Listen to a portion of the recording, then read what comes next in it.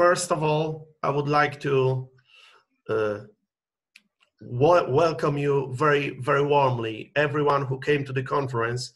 The response was amazing, and I'm really flattered to see so many big names from the Taekwondo world, from all the different organizations and groups. My name is Piotr Bernat. Uh, I am hosting this event together with my friend Grzegorz Sokołowski, or simply Greg, who is also co-hosting this uh, conference. And our guest today is Grandmaster uh, George Vitale, who agreed to share some of his vast knowledge about the Taekwondo history. Uh, of course, it would be good to welcome and to introduce uh, all of you, all of these fantastic guests, all Grandmaster Masters, practitioners of Taekwondo.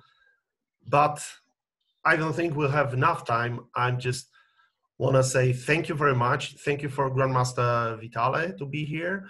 Thank you for all of you who decided to spend this weekend together with us, discussing, listening about the history of Taekwondo and discussing the history of Taekwondo.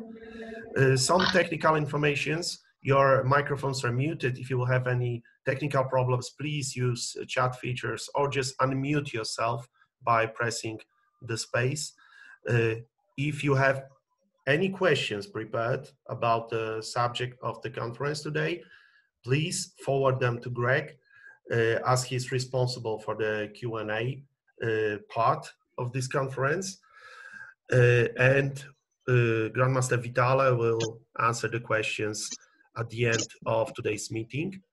If there are any problems, please use the chat feature or send me a, a private message on Facebook.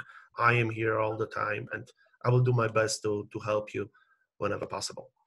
So I will now uh, pass the word to Grandmaster Vitale. The stage is yours, sir. And for everyone, enjoy the enjoy this evening. Uh, or for some, I know it's the middle of the night or early morning. Down under in New Zealand or Australia, we have people from as far as uh, New Zealand, Australia, Colombia, USA, Canada, to name just a few. And it's great to see that even during these lockdown times, we can meet here regardless of organizational differences and to share our love for our martial art taekwondo. So, Grandmaster Vitale, sir, it's your time now. Thank you.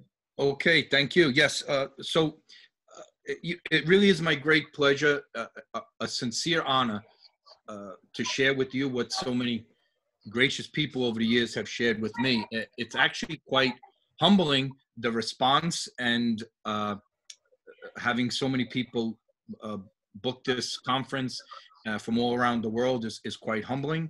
Uh, I hope I don't disappoint you, but I will do my best to uh, give a brief overview.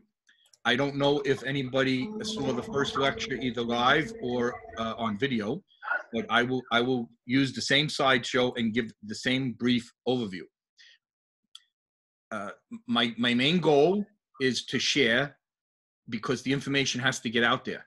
Uh, th- this information I didn't manufacture. I was lucky enough to have very wonderful people share it with me. Uh, it's been an obsession of mine to to dig for this information, and I feel that uh, these great pioneers that gave us this wonderful martial art they should be thanked. So we need to credit them. We need to tell their story. And uh, by recording the history and cementing it for generations to come till the end of time is, is a great way to honor them. I know my life personally has been made uh, so much better uh, because of my involvement with Taekwondo. So I, I want to share uh, hope, hoping to inform you. I would like to elicit feedback via questions, and uh, we can always correct and fine tune anything in the historical record because it, history demands it, and it, that's our job to do. The history is, is far from complete. We need to add to it. And if there's a few major points I like you to take away is Taekwondo is not 2,000 years old. The history is highly controversial for a myriad of reasons. We'll discuss them. each reason can be a whole topic for another lecture. So don't be afraid to ask questions. And the, the history has been purposely manipulated by various entities, again, for various reasons. So if we understand this, it will help us sort through all this confusion. And finally, I hope to motivate, because just looking at some of the names, uh, you, you ladies and gentlemen are, are really are present day leaders. You're, you're training the future. Uh, I, I hope to motivate you all to dig deeper so we can all learn more and that learning is enhanced by the sharing. So that's what i plan on doing. And uh, again please don't be afraid to ask any or, or uh, any questions at all. So i'm gonna try to race through this overview. Uh, maybe take some notes or if something pops into your head make sure you ask me about it. So history of taekwondo that's what we're going to talk about some people say you know history doesn't matter it's a martial art what, what does history have to do with what i do you know in the gym as far as physical defense or sport or you know whatever reason why you're training? Uh, but the two main things taekwondo is not 2000 years old and since there's more than one taekwondo logic simple everyday common sense dictates that there's going to be various paths of development. So those stories of how that development for that particular style, system, uh, or aspect of Taekwondo developed will, of course, have a, a, a different history of that. So we, we have to keep these two main points in mind. And the best way I like to start off with is to acknowledge, yes, Korea. Korea can trace its history maybe to 5,000 years being intact. It is, after all, on a peninsula. So, by definition, it's surrounded by three bodies of water. So, it's a confined space. And the northern part that's connected to the land is also separated from China and present day Russia by rivers and very high mountainous ranges. So, geographically, from a physical sense, it was this isolated, intact area. So its culture does go back 5,000 years. And every single place on the planet can argue that they had a systemized way of protecting themselves. That goes without saying. But we know from a scientific historical research point of view that the martial arts that were indigenous to Korea had virtually nothing to do with taekwondo. So we don't need to waste any uh, time on that. So, uh, if we look at this slide here, we're going to examine the connection of the, that glorious indigenous martial art of the past to Taekwondo today. And there it is, a blank screen put there on purpose because I could not fill it. There is really nothing of substance to put on there because there really is no uh, connection really zero. So if we understand that, we can eliminate a lot of confusion initially. And by uh, manufacturing this story that Taekwondo was 1300 years old or 2000 years old, it was part of the goal to confuse us because they did not want the Koreans, very proud people, did not want the true connections to be revealed. So if we continue to feed this narrative, it only hurts our efforts to to correct the historical record. And uh, as a non-Korean, it's not an issue for me. So uh, I just hope people do realize, yes, Taekwondo had very uh, wonderful indigenous martial arts in the past. They're just really not connected to Taekwondo. It's it's it's a fallacy. It's it's a myth created uh, for nationalist purposes uh, uh, for the Korean people. If you have the opportunity to go to the Taekwondo Won in Korea, in South Korea, in Muju, it is absolutely a phenomenal place. And their history room in their museum starts off with the martial arts of the past. And I was so excited to see that they make no connection. They come out in the very next wall where it's the history of Taekwondo and they show where it started. So if it didn't come from these martial arts in the past, where did it come from? So I answer that question with these graphics up here. There's five images, and the Korean Peninsula on the bottom one side, and on the other side is the Korean flag on, on the, the chest at the, the heart area of, of a Korean. So it, it comes from Korea, from really from the heart of the Korean people. And if you really want to know where it came from, you look at the image on the top row in the middle. Does anybody know what that image is? If you do, just unmute and shout it out. The uh, ROK military flag, is it? Uh, that's correct. It is the uh, ROK Army flag, the Republic of Korea, South Korean Army flag. That's where Taekwondo began. Excellent. Okay, so uh, the other thing is Taekwondo did not come from the five original Kwans, at least not directly. So what the Korean, uh, uh, the original five Kwans were doing, and original defined by opening prior to 1950. June 25th, 1950, the onset of the all-out invasion of the South by the communist forces of the North took place, and it caused a lot of chaos. So by definition, original Kwan means the, the schools that opened prior to the Korean Civil War. And what they were doing was teaching karate that came overwhelmingly from Japanese sources. There was some very minor Chinese martial art influence. They called it names like Kong Soo Do, Wasudo, Kwon Bop, Tang Soo Do. And uh, each of them in their own way, like you, ladies and gentlemen, do in your prospective schools, you add your individual preferences and focus to your teaching which makes your students somewhat unique.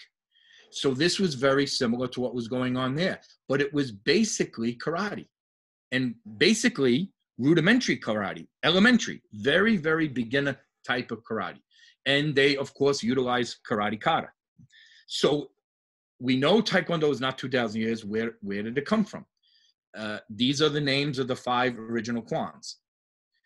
So Taekwondo did not come directly from these original Kwans. And remember, these are not Taekwondo Kwans. These original Kwans are Korean karate Kwans. They were Koreans teaching karate in Korea from mostly Japanese sources. So Taekwondo did not come directly from there. Where did it come from? There's a, a, a picture of seven Korean gentlemen here. Uh, Roh Byung-jik, Lee Won-guk, uh, Yoon Byung-in, Chun Sang-sup, Choi Hong-hi, Yoon Kwe-byung, and uh, Hwang Kee. So these are the seven Koreans that studied martial arts abroad during the occupation period. This means they learned martial arts outside of Korea prior to 1945.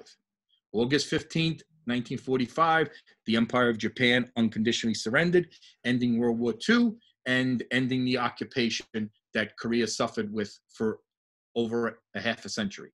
So these gentlemen learned what was basic rudimentary karate with some Chinese influence. And they learned it in karate, uh, sorry, in Japan, with the exception of Grandmaster Hwang Kee, the founder of the Moo Duk Kwan.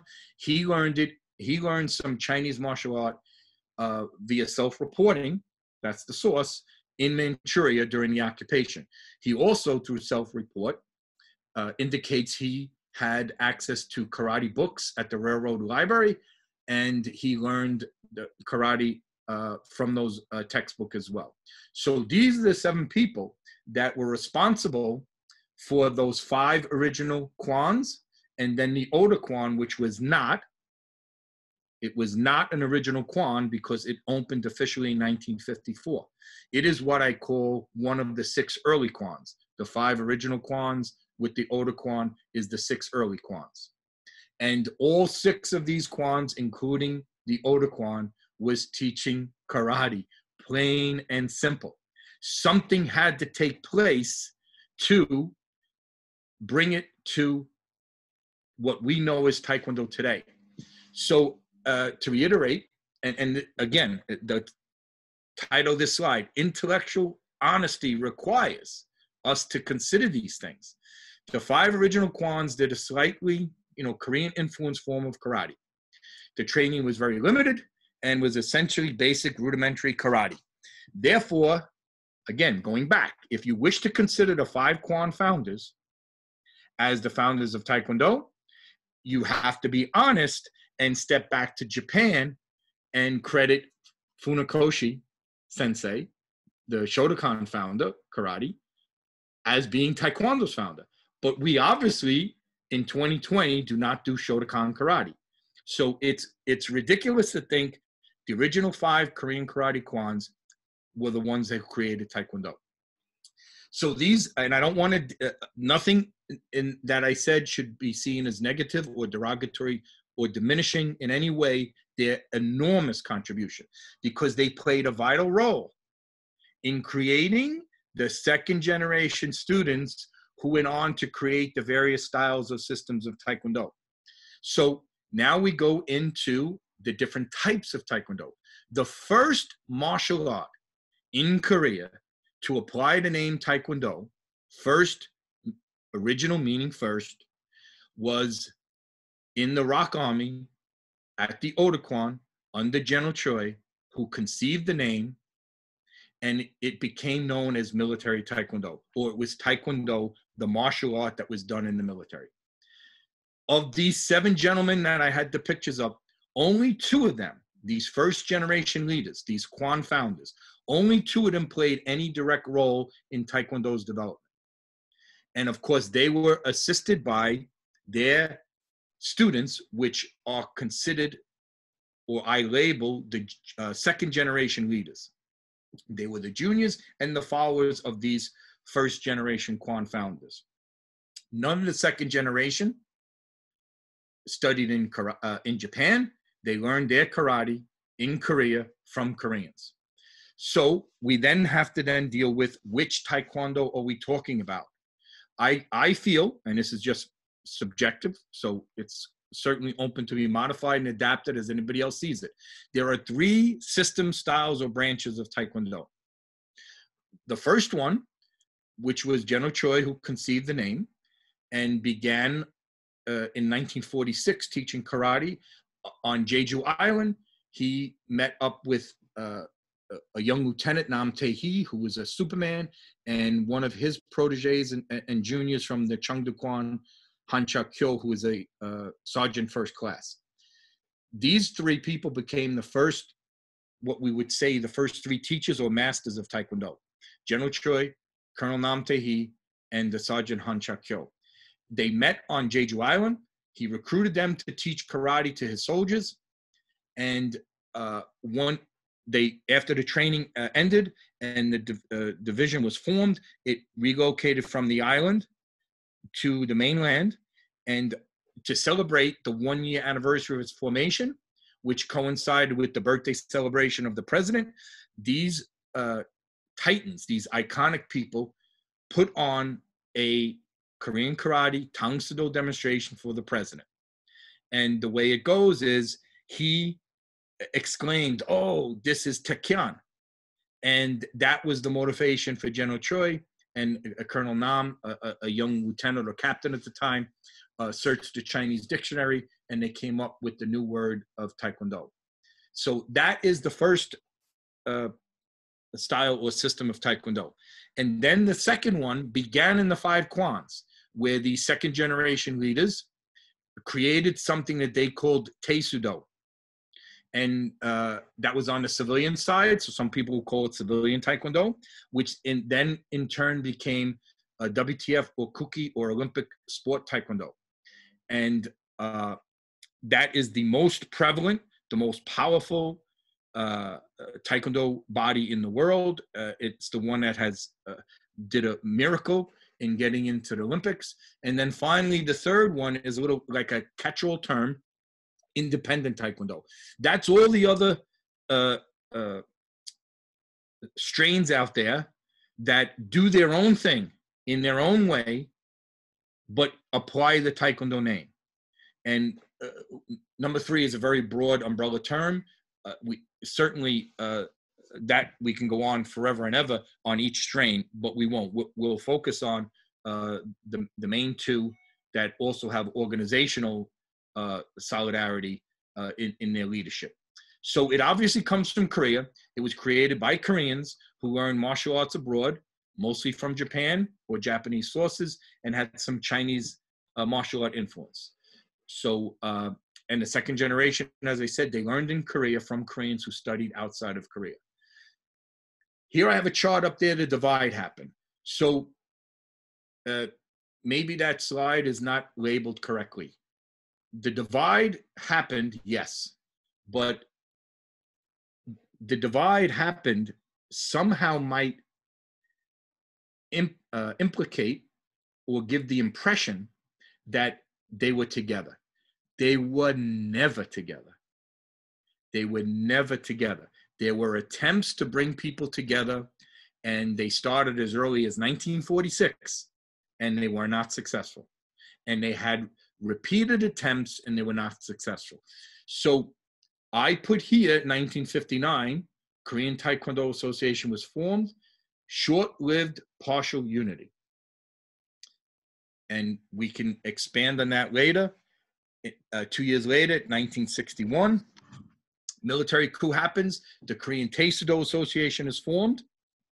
And we have unity, the, the beginning of unity. In 1965, General Choi changes the name of the Korean Taekwondo Association back to Taekwondo when he was elected the third president.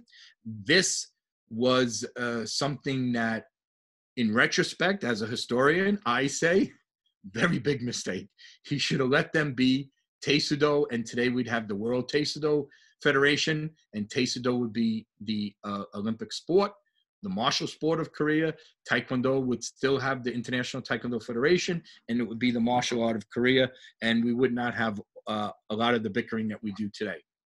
So, uh, since General Choi was so forceful in pushing his way, they pushed him out of the KTA, and uh, uh, his one-year term ended. And he went on in January of 1966, was replaced by Grandmaster Roh Byung-jik, the uh, original Kwan founder from the of the Song Moo Kwan. And uh, in March of 1966, General Choi forms the ITF in Seoul, Korea. And of course, Seoul, Korea is in South Korea, the Republic of Korea. Uh, fast forward another five years to 1971. It's January 29th. Dr. Kim Un Yong, a very, very, very uh, well educated, highly influential, powerful politician, KCIA operative, you name it. I mean, he had so many responsibilities. Uh, I think six languages he spoke. Uh, he's tasked with becoming the uh, president of the KTA. And uh, uh, there's indication that one of the reasons why he was sent was to uh, clean up the mess, and the mess was, from the point of view of many in Korea, General Choi is doing. So 1972, General Choi exiles himself to Canada. This is at the height of the Park Chung-hee military dictatorship's brutality.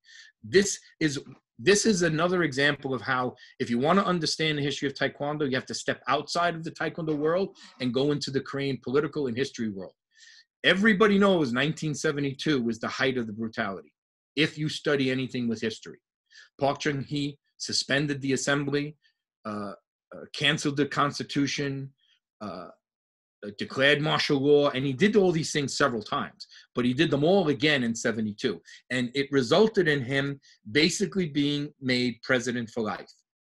And General Choi was a very, very outspoken critic of Park Chung hee. General Choi served on the military tribunal back in the 1940s that arrested and convicted Park Chung-hee for being a communist traitor and a uh, Japanese collaborator during the occupation.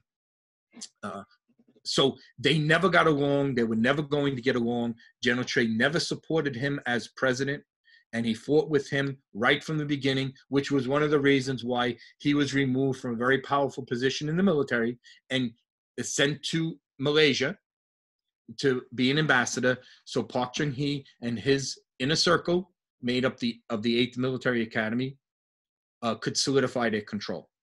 So he leaves to uh, for his safety in 1972. November 30th, 1972, the Kukkiwon opens up the KTA, and it, it was its uh, central gymnasium. 1972, the KTA hosts the first Taekwondo World Championships in Korea. Notice that was not the first World Taekwondo Federation World Championships because the WTF was not yet formed. At the conclusion of the tournament, the member nations that arrived to participate in the championships, their delegates uh, uh, had a meeting, and that's when they formed the WTF it's a big mistake to think the WTF was formed because General Choi took the ITF to Canada. Very big mistake that especially ITF people make. And we can get into that later. I hope people ask a question on that. That could be a whole lecture in and of itself. The following year, the ITF holds their first World Championships in Montreal, Canada. In 1978, the Kwans were officially retired. They were given Arab, uh, Arabic numbers and they were rolled into the Kukkiwon. This is when unity was realized. That was August 7th, 1978. Uh, Two years later, General Choi introduces Taekwondo to North Korea, and the divide is cemented. Why is the divide cemented? Uh, because that was seen as a very patriotic act, visionary by some, including myself, and it was also so seen by Koreans in the South as uh, treason. Uh, he was looked at as a communist traitor who committed treason by bringing Taekwondo to North Korea. And people have to understand in 1980, it was a capital offense for a South Korean to go to North Korea. But General Choi was not a South Korean. He was a Canadian citizen in good standing. He went with his Canadian passport. And uh, originally, what was supposed to happen was Park Chung Hee was assassinated by his own KCIA director October 26, 1979, the same day that uh, uh, Ahn Jung Geun uh, assassinated Hirobumi Ito, uh, you know, 79 years, uh, 69 years later. Uh, but uh, that was, that's ironic, it was on that day. But General Choi, the, the embassy people, the South Korean embassy people in, in Argentina, uh, came to the celebration. They were talking about the news. Uh, they were saying, asking to get General Choi's reaction. Was he going to go back to Korea? So the plan was they were going to reintroduce ITF to South Korea and also bring the ITF demonstration team to North Korea. And he could do this as a Canadian citizen. The South Koreans that were now expatriates living abroad as as uh, citizens of the UK in, in, in, the case of Grandmaster Rhee Ki Ha uh, and uh, others would uh, uh, not have any problem from South Korea because they were going under their other passports and it was not a political mission. But that really cemented the divide. And uh, there's a lot of reasons for that. But for those were around with the ITF in those days or the WTF in those days, you will see how General Choi tried to get the ITF into the Olympics, so he fought the WTF, and how the WTF fought the ITF, and all this bickering would go back and forth. It really, really created a lot of animosity, but the divide was cemented. So I'm going to sum up, and we're going to open it up for whatever questions you have. Uh, I rushed through this, but I actually think I might have added some additional details I didn't the first time, only because I needed to uh, maybe spur additional questions so we can dig deeper on these things. So Taekwondo is not 2,000 years old. It was named by General Choi Hong Hi, who oversaw the development in the ROK Army as a martial art, and that that system he was developing centered around his Korean Taekwondo patterns. About 10 years later, uh, he convinced the civilians to use the Taekwondo name after they had already united together under the Tae Soo Do label because they were coalescing around new unique sports sparring rules. So in 1965, you had two distinct activities that were different in so many ways, sharing the same name. Big problem. The political climate of the times of its development, those turbulent times, there were three military generals that ran Korea, two of them via a military coup. The other was the, the third and last military dictator, Roh Tae-woo. He was he was basically placed by Chun Doo-hwan, the second military dictator, because Chun Doo-hwan knew when his term was up, he faced big problems from the South Korean government because of his brutality. And he knew this would happen, and he was right. So he made sure his right hand man, one of his main henchmen, Roh Tae Woo, took over, and he did. So what happened when Roh Tae Woo left office? Even though he was elected, after he left office, the first civilian democratic elected president of Korea commissioned a Truth and Reconciliation Commission, patterned after the one that happened in South Africa when they finally uh, were able to throw off the disgusting shackles of apartheid. And they searched every stone. And Chun Doo-hwan and Roh Tae-woo were sentenced to death for crimes against the Korean people. So if you don't understand how heavy these things are, you will fall for all the nonsense that the Taekwondo people talk about when they say General Choi was a communist traitor who committed treason. Okay, yeah, if you feel that, fine. I, I think it's absurd, uh, it, and it doesn't it doesn't even scratch the surface. It doesn't even scratch the surface. This man today in South Korea is being uh, rediscovered not by taekwondo people. Yes, the taekwondo people are doing it, no question. But academics are doing it in the university level that have nothing to do with taekwondo, and they're exploring his contributions as an outspoken critic to the military dictators, as a patriot for his his uh, insurrection against the Japanese colonial government during the occupation, and uh, they realized the great things he did in promoting Korean culture and history by spreading Taekwondo globally. So, uh, how Taekwondo grows going forward, and to the extent how it grows, uh, is really up to us. We, you know, uh, how are we going to cooperate? How do we teach our students? So, uh, with that, I, I, gave you this very rushed, brief overview, and I hope that it will uh, spur uh, a lot of questions. So, with that, I'm going to just wait for you guys.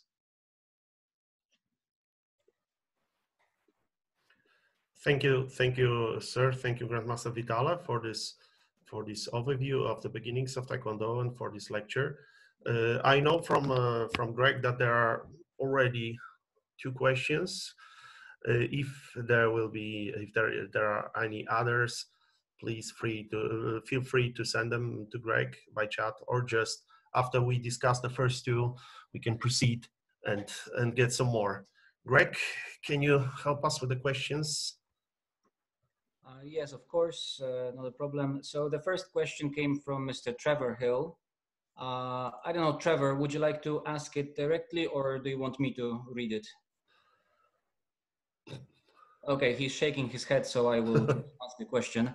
Okay, so his question was, uh, he says, it's not strictly uh, Taekwondo that, uh, related, like historically connected with this particular uh, seminar, uh, but what do we know of the real history of Hwarang?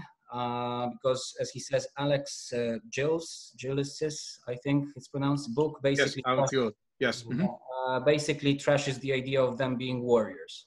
So the question, uh, what do you know of the real Hwarang?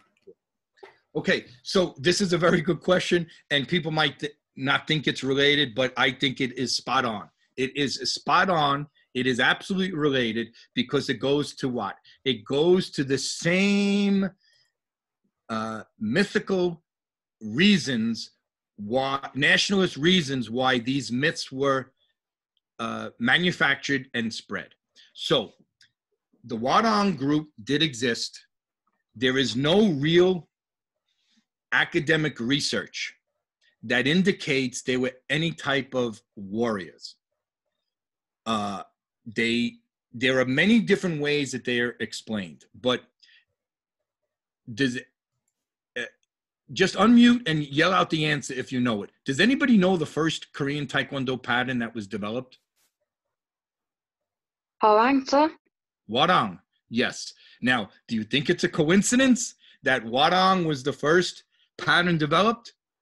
Well, uh, I don't think it's a coincidence. Now, there is a, uh, uh, when you look at any of General Choi's books from 1972 forward, there is a doctor that was a lieutenant colonel in the army. And in the 1940s, Dr. Syngman Rhee, the first president of Korea, tapped this historian to write things about Korea's history, about Korea's past. And he was the one that wrote the initial uh, legend of the Hwarang warriors. Uh, General Choi knew him very well. I have I cannot prove definitively that General Choi picked this to be the first pattern, but knowing General Choi, knowing how his brain worked, following and studying things that he did, it's quite clear to me that he created the first pattern, Hwarang, after these warriors, supposed warriors. And when you search the record of, of, of the Hwarang, you will see most most of what is out there is written by martial artists, not historians, not academics who who you know i'm crazy the stuff that i have dug through to come up with you know i i don't have any notes. I just talk because i've d- jumped so deep into this material for so long. It's in my head. I can't get it out. It's like general choi 24 hours a day taekwondo history taekwondo history. So he had a relationship with this man. He comes to the united states and he uh, attends advanced military training with the uh, General Ch- uh, Choi Duk-shin, his his uh, self-proclaimed blood brother. And guess what happens when he's in the United States? He's traveling in between uh, training as a tourist, and I have his photo albums. I have him at the Statue of Liberty. I have him on Fifth Avenue, Manhattan, the Empire State Building, the Lincoln Memorial. He is amazed. Look at this obnoxious patriotic country to have street names and stuff named after their founding patriots. So this is what I believe gave General Choi the motivation, and Hwarang was the first one that was used. So uh, did they have some kind of martial arts training? Did some of them become involved in the military? I think from uh, the limited history we know that that is accurate. Were they a rival to the Japanese samurai warriors? No, they weren't. There's nothing in the uh, in in any scholarly research that indicates that's the case. So uh, Alex Gillis, I know very well. He's an independent Taekwondo man with both connections to ITF and WTF. He's an investigative journalist. If you have not read his book, please do so. I highly recommend it.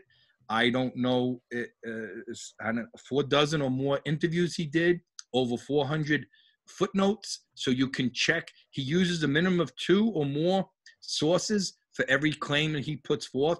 So uh, I think that uh, my colleague and friend Mr. Gillis is spot on with the Hwarang Warriors. That that is, uh, I, you know, people think unrelated. I think it's directly related. Okay. Thank you, sir. So you see, I will go deep with these answers. So don't be afraid to ask. If I don't give this in-depth response, you're not gonna grasp. So if you have to ask follow-ups, fine, but but keep digging. Okay, thank you, sir. Um, another question uh, is from Master Sunday, I think it's pronounced. Uh, it's, uh, well, basically a general question. How do we define Taekwondo? If you could relate to that.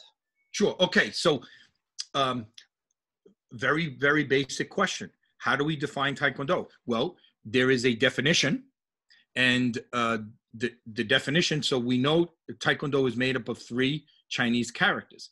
So people think it's foot, fist, and mind, and it's wrong.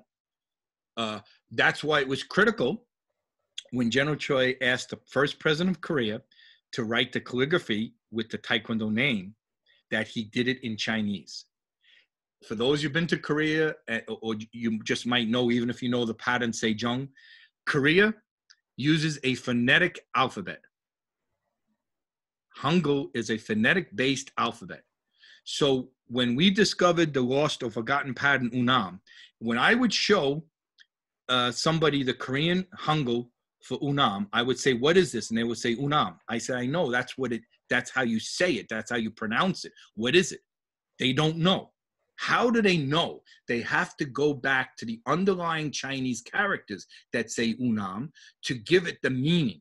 So, Taekwondo is not does not mean foot, fist, mind. The te means a foot elevated off the ground. If you just isolate that character, you will see that te is made up of two Chinese characters joined together. One is the character for foot. The other is the character for elevated or off the floor. So General Choi would say off the floor, like for stomping, stamping, kicking, jumping, flying, or whatever, right? But the, the visual picture, if you just ask somebody that reads Chinese and you isolate that character, it's very important you don't do it Taekwondo together. You have to isolate that, that character and ask a native speaking Chinese person that's educated because it's a it is a rare character. They will tell you it's a foot elevated off the floor. I did this by going to a, library where the chief librarian was uh, a native Chinese, and uh, very educated in uh, Chinese characters. She confirmed this to me. Then I went to a uh, students of mine were Chinese, and uh, their their students went. Their children, my students, went to Chinese language school, uh, and I asked them to find this out, and that's the answer I got. Uh, and I've asked this in Korea, and I've asked this of of other people as well. So it is a foot off the ground. So it's not a noun. It's more like an action word, a verb. And the Quan we know is a fist. It's a hand rolled into a fist. And as Nam Hee said and General Choi said, a fist denotes strength, right? So they thought about what do they use? And Quan was already widely used, Quan Bo. So they used the Te, which they came up. Some people even think General Choi put these two characters together to create the Te character. But uh, so the Te and Quan is is the hand rolled into a fist to denote strength, and then the Do is not Do, it's Dao, like Taoism, Taoism, right? So if you isolate the Chinese character, it's the character that that uh, signifies this Asian belief system. And what is this belief system? It's not mind. It's a belief system in moral living.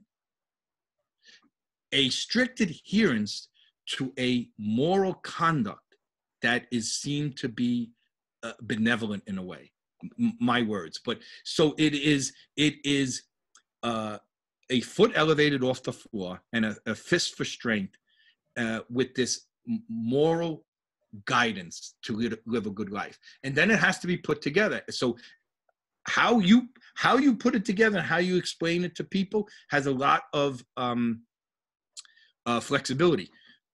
I was just reading a scholarly, uh, peer reviewed research on this very topic, and the uh, authors, uh, one of them I know very well, uh, he uh, was saying that in searching for definition of taekwondo because taekwondo is so popular most of the definitions you get revert back to general choi's meaning because that's how inf- influential he is. That's why you have to isolate the characters themselves. So that's what the literal translation means and how you put it together and and what you you know is it a martial sport? Is it a martial art? Is it a way of life?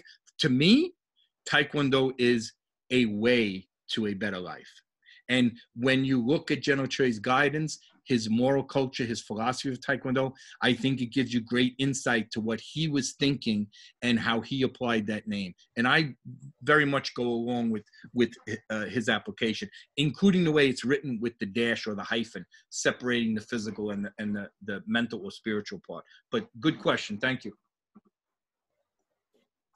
Thank you, sir.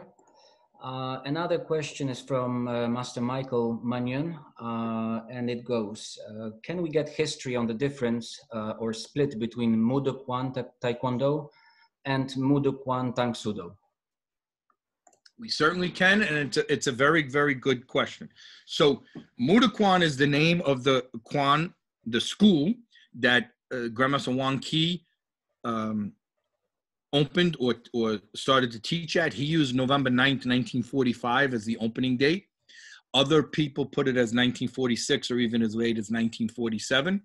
I don't get bogged down into exact uh, starting points because that's more like, oh, this guy was a nobody. He's not important. He wasn't as early as we are. And I don't play those kind of games. But Moo Duk Kwan was the name he gave to his school. And the art that he taught, he called Hwa Soo Do, which turned out to be very unpopular. Uh, it didn't have the martial art connotation or connection. And uh, upon meeting uh, Grandmaster Lee Won Kuk of the Chung Do Kwan, uh, Grandmaster Lee, and they and they don't know why uh, that he um, chose Tang Soo Do because most people were using Kong Soo Do, and he was seen to have been very. Uh, I don't want to say.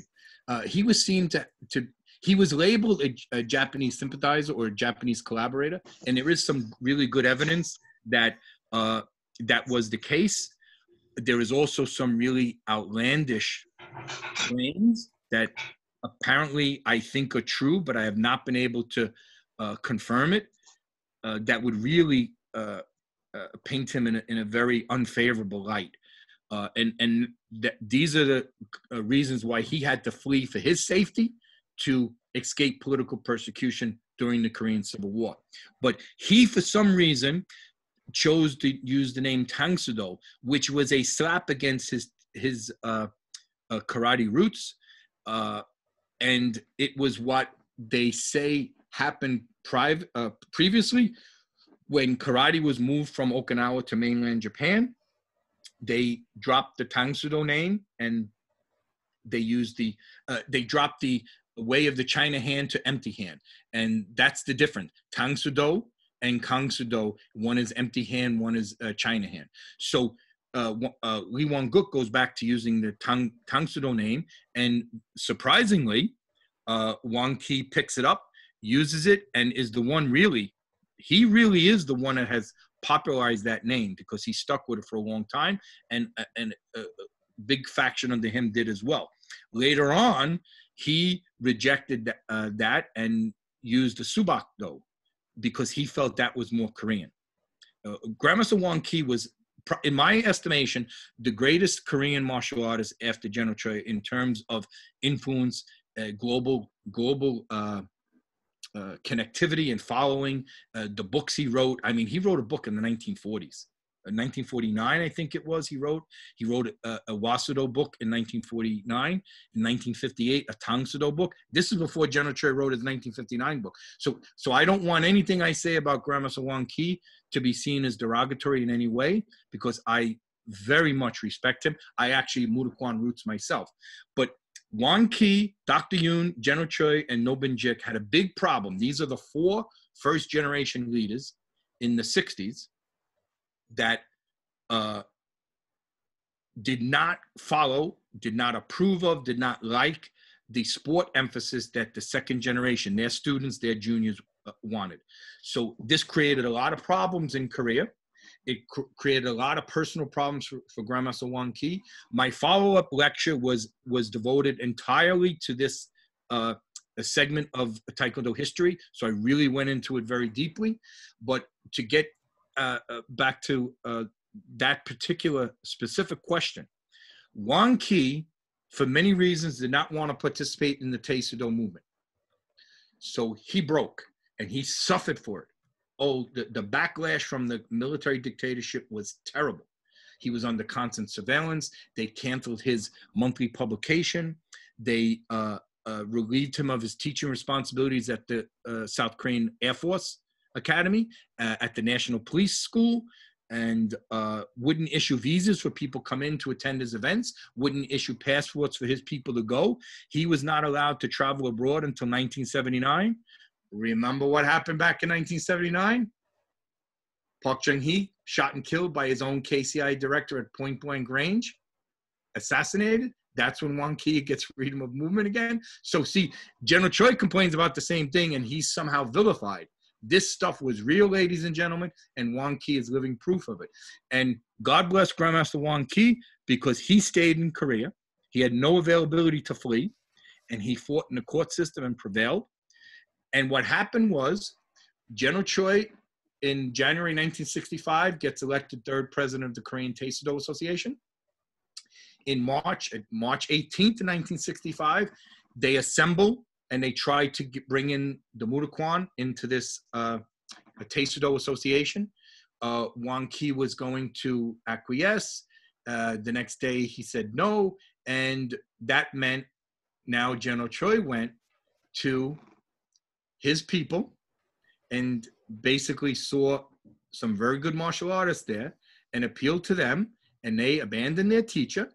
And that's when the split happened Moo Duk Kwan Tang Soo and Moo Duk Kwan Taekwondo. So you will see in 1965 that very real split happened.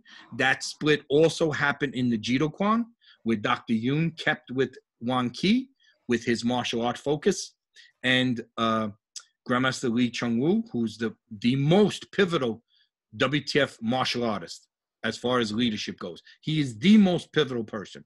Uh, he split from the Jido Kwan. So those two Kwans split at that time with the whole uh, coming together under the Tae Soo Do label that in a couple months General Choi was able to switch back to uh, Taekwondo name. So that is a, a, a very good question. And uh, hopefully th- the more depth I added to it reinforces this political climate that was happening uh, uh, in the dictatorship back in South Korea.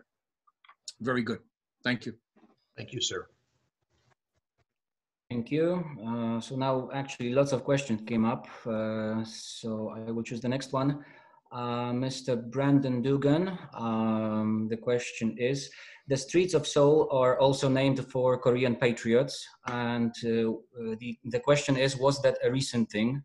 And did they inspire General Choi's naming of the tuls? Is it possible that his promotion of the history in the tuls inspired the street names? Okay, so uh, there's no way that I can say one way or the other which came first, the chicken or the egg. We do know during the occupation, Korean education was banned. They had to learn Japanese. General Choi was forced to take a Japanese name, Nishiyama. Uh, they suffered a great humiliation and de- degradation, being uh, subjugated to second class Japanese citizens by a power that they didn't elect, didn't adhere to, that had no business being in Korea. So this goes back to that core issue when Korea was liberated in 1945. Two very important things. Syngman Rhee, uh, they were liberated in 1945. The southern half was a uh, military occupation governed by the U.S. Army. And on August 15th, 1948, the military occupation government of the United States uh, gave over control, and the Republic of Korea was officially formed. August 15th, 1948. I'm sure they use August 15th because that was also the, the, the third year anniversary of the liberation from Japanese colonial rule. And then I don't know if it's a month later, something similar happened in uh, Pyongyang in North Korea, where uh, the Kim Il sung government was officially sanctioned by the Soviet Union, and they started their uh, uh withdrawal as well. And these things then uh, tragically put in place what would then lead to the Korean Civil War. But one of the things that uh, uh Dr. Rhee did as president of uh, South Korea, the first Korean president, he put forth a policy that it was not allowed to promote anything Japanese related. That's when he gets this uh, colonel, uh, the historian in the military, to uh, write these things about Korean history because remember they would it was eradicated. So these things all started happening at that time. I believe the motivation for the patterns was from when General Choi was from 19, from uh, 1949 to when the outbreak happened and the U.S. military rushed him to go back home. He was here for a year uh, two different trainings, one in Fort Benning in Georgia and one in Fort Riley in Kansas, I believe. Uh, and in between, he was in Washington, D.C., my hometown, New York City, and so forth. And I believe this is where he got the motivation. Uh, this was relayed to me by one of the pioneers that was very close with General Choi, that that's where the motivation came from the patterns.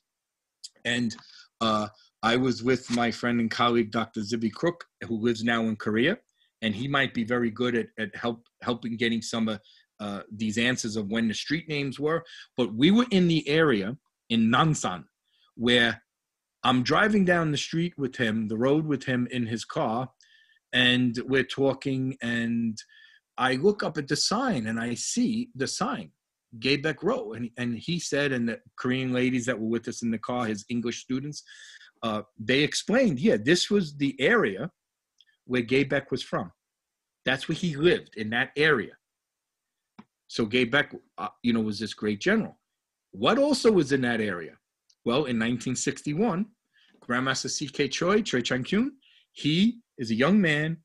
Uh, uh, his teacher was General Woo Jung Lim, and uh, he went to Grandmaster Choi's parents and said, you know, uh, he's got to go into the military with the mandatory service, but if you let him in with me, I can hook him up with Taekwondo. He'll be very safe. It'll be a really nice position. And where does he get assigned? He gets assigned to the Army Recruit Training Center in Nonsan. Who is the general in charge of the Army Recruit Training Center? Anybody say Choi Hong Hi? Yes. Two-star Major General Choi Hong Hi.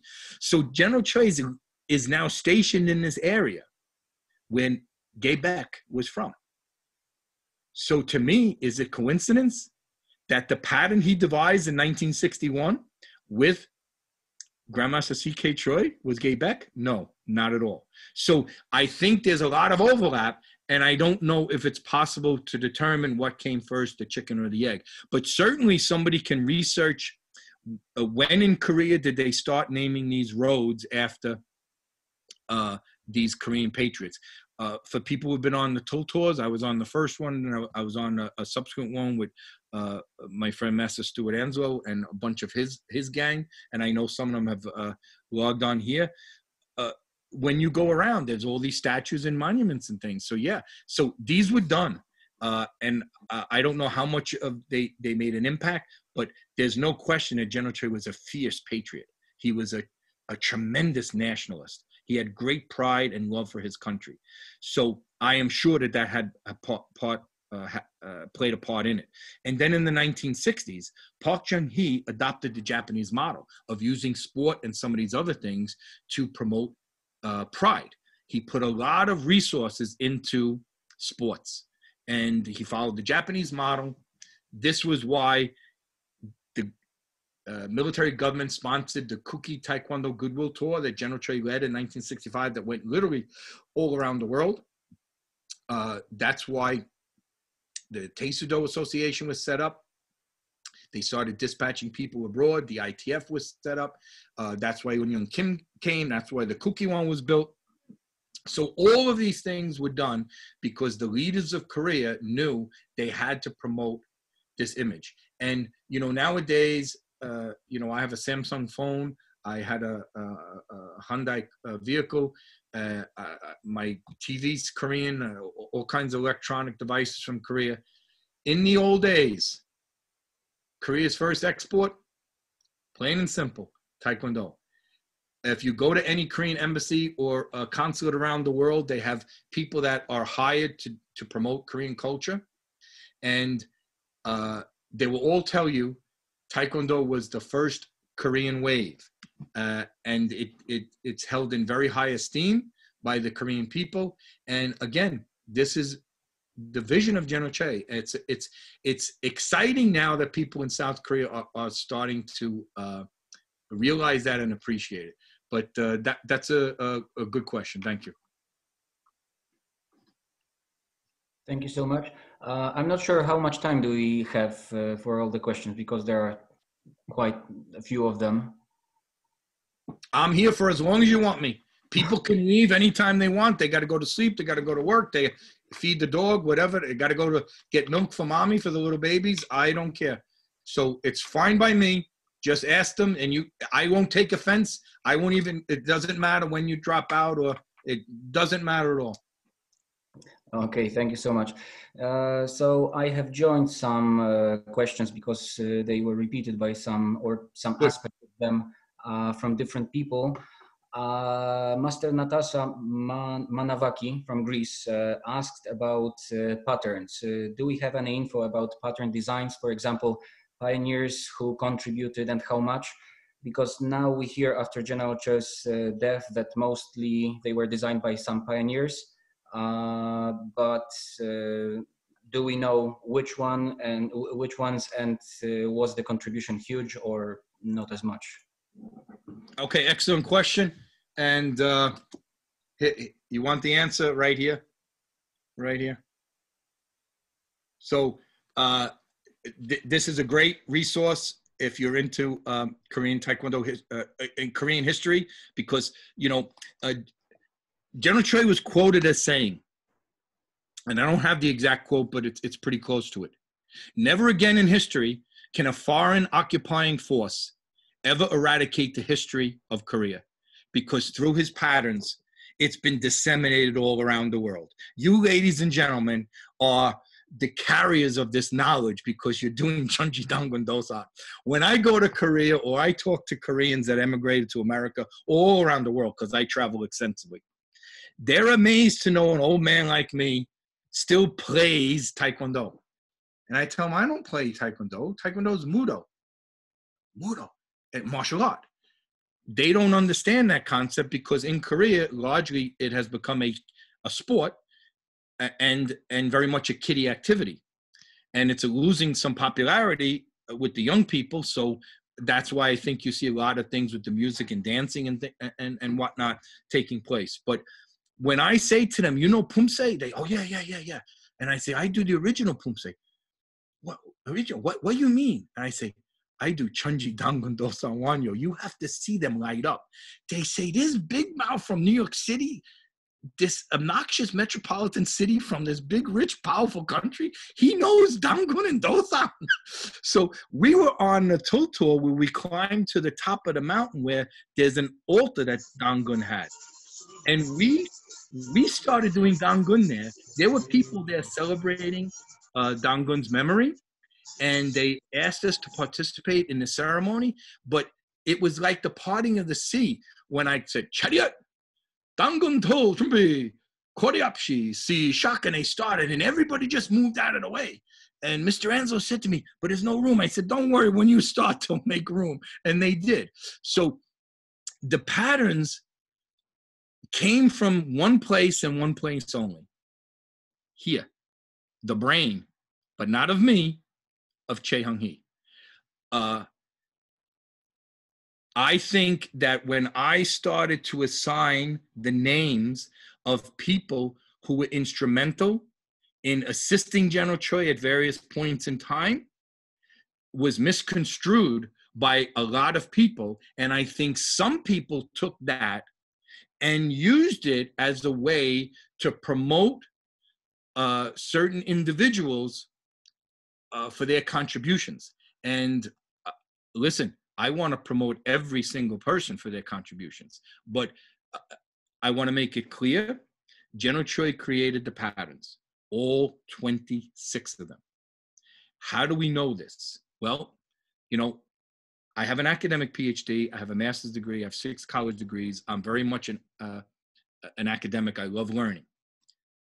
I was also 24 years a New York State trooper with 19 or 19, almost 20 years on the streets of New York, including working organized crime undercover, an assumed identity, the whole nine yards.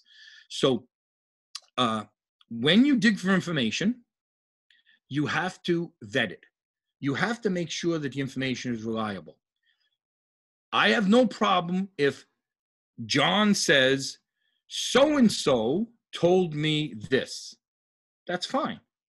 But John cannot say that this is factual. So John can say, so and so told me XYZ. They cannot now turn around. John cannot say XYZ is historically accurate. It has to be vetted. So, to a person, to a person, every single pioneer that I interviewed, about how the patterns were created all said General Choi had them written down.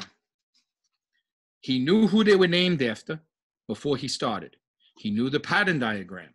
He knew how he wanted the, the movements to go. In the particular case of Ge-Baek, was the motivation being in this area where Ge-Baek was from? But what is clear, the name was predetermined. The movements were made to fit in that vertical line to show his strict military discipline. We know Colonel Nam Tae uh, that General Choi's pro, uh, self-proclaimed right-hand man, his first right-hand man. Uh, General Choi had Nam Tae right-hand man. Then he had Kim Bok Man, right-hand man. Then he had J.C. Kim, Kim uh, right-hand man. Then he had Park Jung Tae, right-hand man. General Choi always, always had a talent, uh, uh, the capacity, the ability to to note who has gifts and how can I bring them ab- aboard my ship here to move us forward. So these people that he picked, he only called Namte his right hand man, but they were all right hand men at all particular periods of time. Uh, Kim Bok Man, in particular, was a master sergeant, which is a really high non commissioned rank. You don't get to be a master sergeant unless you know your stuff. And you don't get to have the founder of Taekwondo, this general in the army, an ambassador, summon you to come to Malaysia with the lieutenant, Woo Jae Lim, in the spring of 1963 if you don't know your stuff. So, uh, uh, Grandmaster Kim himself has told me, uh, you know, they lived in the, the ambassador's official residence and they had a room there that they shared. And on the room, they would put up little signs, you know, A, B, C, D, you know, the pattern diagram, and it would work out what General Choi had in these movements. And every single person to a man said that General Choi solicited feedback. How does this fit? How does it flow? Does this feel all right? Does it work? Should we do something different? And in one particular case, and I don't know how many he, here do Chung Mu told, Chung Mu has a flying sidekick and you're in a right L stance, knife hand guarding block. You step with your right foot, you launch from your right foot, and you kick with your right foot. That is not natural. I think most people by default will go right, left, launch right, turn and kick with the right leg in the air. So, who was one of the main people that uh, not, uh, General Choi uh, used to uh, finalize Chung Mu? Han Cha-kyo. Now, you know what Han Cha-kyo said? He said, General Choi, no, yeah, step right, then step left, then kick right. General Choi said, no, step right, jump right, kick right. No, no, no. So, if you know the 30 movements in Chung Mu, who prevailed? Han Cha-kyo or General Choi? Whose idea was this? Han Cha-kyo or General Choi? It, this, it's ludicrous to, to, to think that anybody but General Choi created the patterns. But I think one of the things that Grandmaster Kim Bok Man did that is unique is because of his relationship with General Choi, because they actually lived together and they were they were, you know, General Choi hated being an ambassador. He got in all kinds of trouble because he's using embassy staff. The embassy was the, basically the first Taekwondo dojang outside of, of Korea. Uh, so he got in all kinds of trouble. And uh, Grandmaster Kim told me something that makes a lot of sense. I don't know if my English, if I symmetrical, right? Uh, both sides of the patterns are even. But if you look at the early patterns, pre Kim Bok Man, what do you have? Hwa-Rang, Chungmu, Uji, Unam, uh, Samil, and the Ge-Baek. They're not symmetrical. Tongil is not either and Tangil was also uh, not part of that group. But look at how all these other patterns, and that was something that uh, Grandmaster Kim battled General Choi, and he. Uh, uh, we know what the finished product was, but to say that anybody else created the patterns just not is not in line with what any pioneer has told me directly or has been uh, like Grandmaster Earl Weiss, my senior and colleague, really great guy. uh, in Chicago, he interviewed uh, Colonel Nam about this very thing. And Colonel Nam, who's the one that everybody says, the detractors of General Choi said, oh, Nam Tae Hi was the martial artist, General Choi wasn't. Well, any of us, and there's a lot of people here trained directly under General Choi, with General Choi, all over the world with him in his house. General Choi was a martial artist to the core. So anybody that makes that claim is just I, I, I don't know why they would make that claim. They never met the person, they never studied under them, but they make this claim. So uh, anybody knew General Choi, he was definitely a martial artist. So the main one that they all say was the real guy behind the scenes. He said, he said, General Choi called me up. Okay, so so this is how it goes, right? General Choi assembles them in the 29th Infantry Division, right? The 5th Division, the Odaquan. He says, move the furniture. So they move the tables, chairs out of the way. General Choi takes out his manuscript, sitting on a chair, and he calls Nam up. Nam! And Nam salutes. General Choi takes his manuscript and he starts giving him the commands, one by one, for those 29 movements. That's how Hwa-Rang was born. Then Come here. Nam. Sit next to me. Then they call up Han Cha-kyo, the non-commissioned officer. He hands his manuscript to Nam. Nam reads the directions to the sergeant. Why? A general doesn't communicate with the sergeants. The general has uh, junior commission officers that commit that communicate with the non-commissioned officers who who communicate with the enlisted men. So Nam Tae Hi himself is saying, I didn't devise the patterns, General Choi did.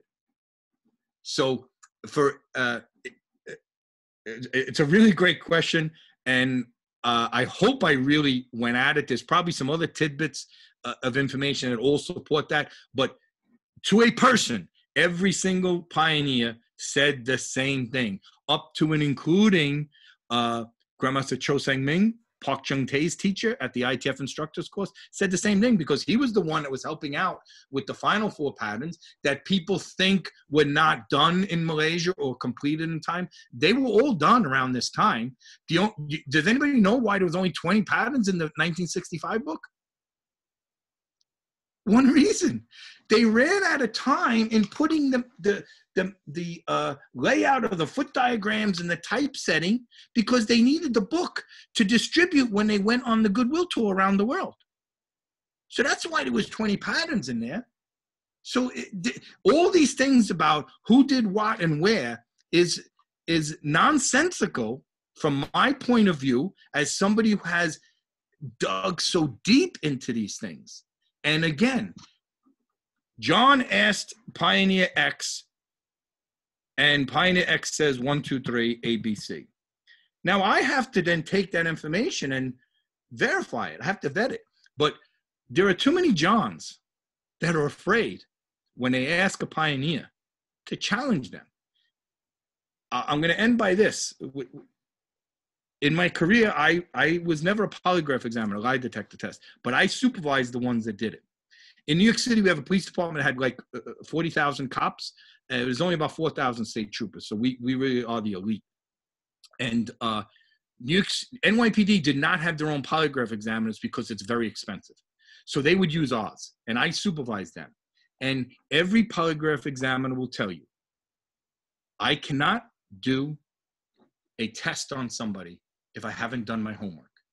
So they need the background investigator to give them the info, the data that they have to absorb and that they press the person on. You cannot do an interview of somebody if you don't press them on things, if you don't push back on things. And unfortunately, when we have this kind of martial art relationship, they go in and they ask and then they write down and they say, oh, so now they think they found the Holy Grail. No, you didn't vet it. There was no pushback at all. Grandmaster Riki had two teachers. One was Kim Bok Man, and I, and I remember uh, Grandmaster Ree said that to one of uh, Grandmaster Kim's uh, uh, top students when we attended a seminar together. And uh, the other one was uh, Lee Byung Moo. Lee Byung Moo, really one of the uh, most senior pioneers. And I attended an opening ceremony at a, a student of his opened a dojang. So I attended and I knew Grandmaster Lee through my teacher. So I said to him, Oh, how I haven't seen you so long. And he didn't know who I was, he didn't remember. And I told him I'm a student of so and so. He goes, Oh, because they're very close friends. And I, I said, Yeah, I was the state trooper. so right away, he knew who I was because my teacher always bragged about his student that was with the state police. So uh, I started talking to him about the history of Taekwondo. After it, it ended, it, eh, the dinner ended and the, the festivities uh, was over, his son came up to me and said, Excuse me, what did you say to my father? And I, I was a little taken aback. I said, Oh, geez, you know, uh, what did I do? I hope I didn't wasn't inappropriate or you know I try to be very courteous and very prim and proper. I said, oh my God, what did I do? And I said, oh, I don't know why. He goes, I have never heard my father talk about those things in years and never talk about them outside the family. Now, why did he share them with me? Why? I don't know. I never asked him. I can only assume because he knew I did my homework. I had a great amount of interest and since I did my homework and I had knowledge, he was eager to give me more. And I'll never forget his sharing with me. Some and I, some of the things he asked me not to repeat, and I won't. But now when I know that, I understand some of the things that happened in Malaysia and Singapore that were of a controversial nature because I got more of the puzzle. But uh, this is a problem that we have when people ask questions and they don't push back. So very good question, and I hope that I really went into uh, giving you a lot of information to address it. Thank you. For those that may have missed it, we have the author of this book endorsed by Grandmaster George Vitale, Stuart Anslow with us. So also I can endorse it. A very good book. So if anybody wants it, it's still available on the market and fantastic thing, fantastic read. Okay, Greg, over to you again. Okay, thank you. Um, so the next question is from Darek Nowicki. Um, we see connection in name development, but is there any connection between modern Olympic Taekwondo and Taekyon? Uh, the short answer is no. There's no connection. Uh, the Taekwondo people say there's no connection. The Taekwondo people say there's no connection.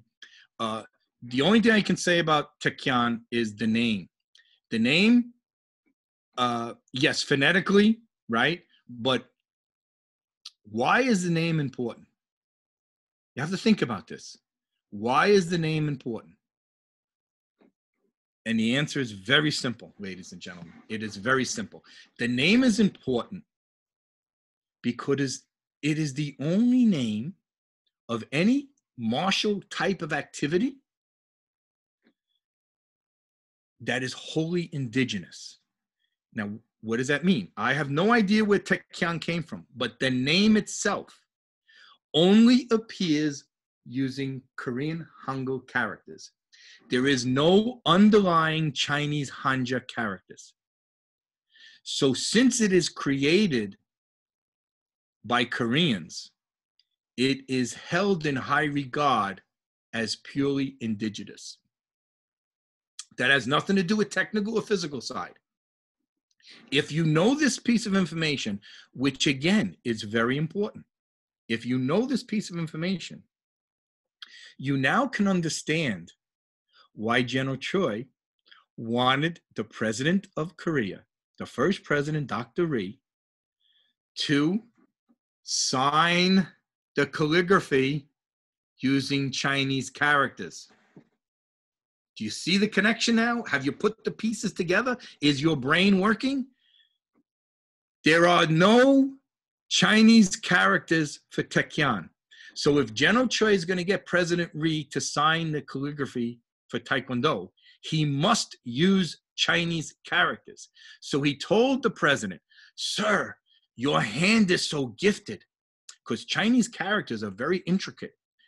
I look at Chinese calligraphy. I, I put the scrolls up uh, early on. They were all done by General Choi, exception of one, the one in Taekwondo written in Chinese that was written by Syngman Rhee.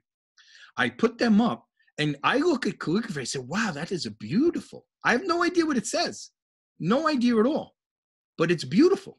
And that's why General Choi said to the president, please, sir, and compare Taekwondo in Korean and Taekwondo in Chinese. You will see the difference. He said, You have such a fine hand. Your artistic gift is wonderful. Please use the Chinese characters. And the president said, Taekyon, what are they? So he says, Well, here's what we have it's a Taekwondo. So, see, this is the detail you need to understand why these things are important. And uh, Lee Chong Woo, Grandmaster, great. I interviewed him, the, the, the most important person on the WTF side as far as martial art goes. In a recorded interview in 2002, April, right before General Choi passed away, right when General Choi was supposed to return to South Korea, because things were very uh, different then with the political climate with the, the left of center administration, who won a Nobel Peace Prize for his outreach to North Korea. General Choi was nominated for Nobel Peace Prize by the Canadian government, so they don't think he's a communist traitor committed treason. In fact, the South Korean uh, capital is Seoul. In the, the capital city of Seoul are the embassies from all around the world. The Canadian embassy is located in Seoul, and in this embassy, there's an employee workout room, a gymnasium. It's called the Hung-hee Hall. Why? He is a beloved adopted citizen of Canada, held in high regard. So uh, Lee Chung-woo said in this interview, General Choi lied. He lied about the calligraphy that Syngman Rhee did. Because if he had it, he would produce it. He doesn't have it, he lied. Well, Dr. Kim Hee Young, right? Uh, one of my mentors, uh, he helped me with my PhD. Uh, he he wrote this. This is 900 900 pages of raw data, raw data about Taekwondo's history. It's a must for anybody that is interested in, in diving into these issues. So, Dr. Kim asked General Choi, "Sir, where is this calligraphy?" And he said, "Hey, Heon, I only told my wife, I can't pack up everything I need and leave. I packed up a briefcase, a suitcase of essentials to go on a week's journey of teaching taekwondo classes or seminars, whatever he was doing on on his uh, uh, uh, uh trip outside of Korea. He didn't tell anybody he's not coming back. So where is where is this calligraphy? I don't know. It was in the, uh, the office when I left. I have no idea what happened to it the ITF office is gone. His home is gone. I don't even know if it's if the building that is his home exists anymore. It might have been knocked down for uh, you know bigger buildings or something. But it's all gone. But he said in the 1959 book, I have the story about the ch- chief of staff and the ROK Army chief of staff of how this was all done with a copy of the calligraphy. So I, of course, uh, uh, b- because of my work, um, somebody brought to my attention the 1959 book and I made sure it was preserved. And I brokered that deal. But this guy is a WTF guy, Nathan Doggett, who I credit when I put when I put the 59 book online. Uh, I credit him. You know, this is a, such a valuable piece. So on my iPad, and I could bring it up and show you, but on my iPad, I carry uh, that calligraphy. And I've gotten them made up now. I have a whole bunch of them I hand out to politicians when I go to South Korea and it, it become very, very popular. So I'm getting a private tour of the Taekwondowon Museum by the curator. She's a young lady, nothing to do with Taekwondo. She has a master's degree in history, and she's in charge of the museum there. And she's given me a guided personal tour uh, with Grandmaster Monier Gwari, and I think it was Grandmaster Jung Woo Jin was with us. Dr. Kim was there, but he already had seen the museum, so he didn't come on the tour with us. So we get to the calligraphy from uh, March 21st, 1971. Uh, uh, of uh, Kim uh, Kim Young got from the uh, Park Chung Hee General Park that said Kukki Taekwondo. So we get to that, and she goes, "Oh, that's the original." I said, "Oh no, it's not." She goes, "No, no, yes, yes, that's the original." I said, "No, ma'am, it's not." She goes, "Of course, yes, original." I said, "No, ma'am, it's not. That one from March 1971." Yeah, I know. I'm museum curator. It's original. I said, "No, it's not." And I took out my iPad and I showed her the original. I said, This one from 1955. You see the signature? Unam. That's a Dr. Syngman Rhee, first president of Korea. That's the original taekwondo. Oh my. I never see before. I said, no, no, you have it. She goes, no, no, I never see before. I know why. I said, no, no, no. You have it. And I took her by the hand, you know, very dramatically, right? Just pushing New Yorker. I take her by the hand and we go back to where the sealed glass case has General Choi's 1959 book in there on display. I say, it's in there. I said, it's on page six. I was just pulling her leg. I don't know. It was in the beginning somewhere. It wasn't really page six, but it was really right up front. I said, it's in there. So she grabbed her radio, walkie talkie, talkie walkie, whatever you call it, and she's calling to the staff in Korean for them to come to bring the key. I said, no, no, no, no, no. It's in there. Trust me. You can check it anytime. That's where this image came from. So General Choi was brilliant, and that's why you have to understand why he asked the president to write it in Chinese. Because people guess, and it's a really good guess. I, I agree with this assessment.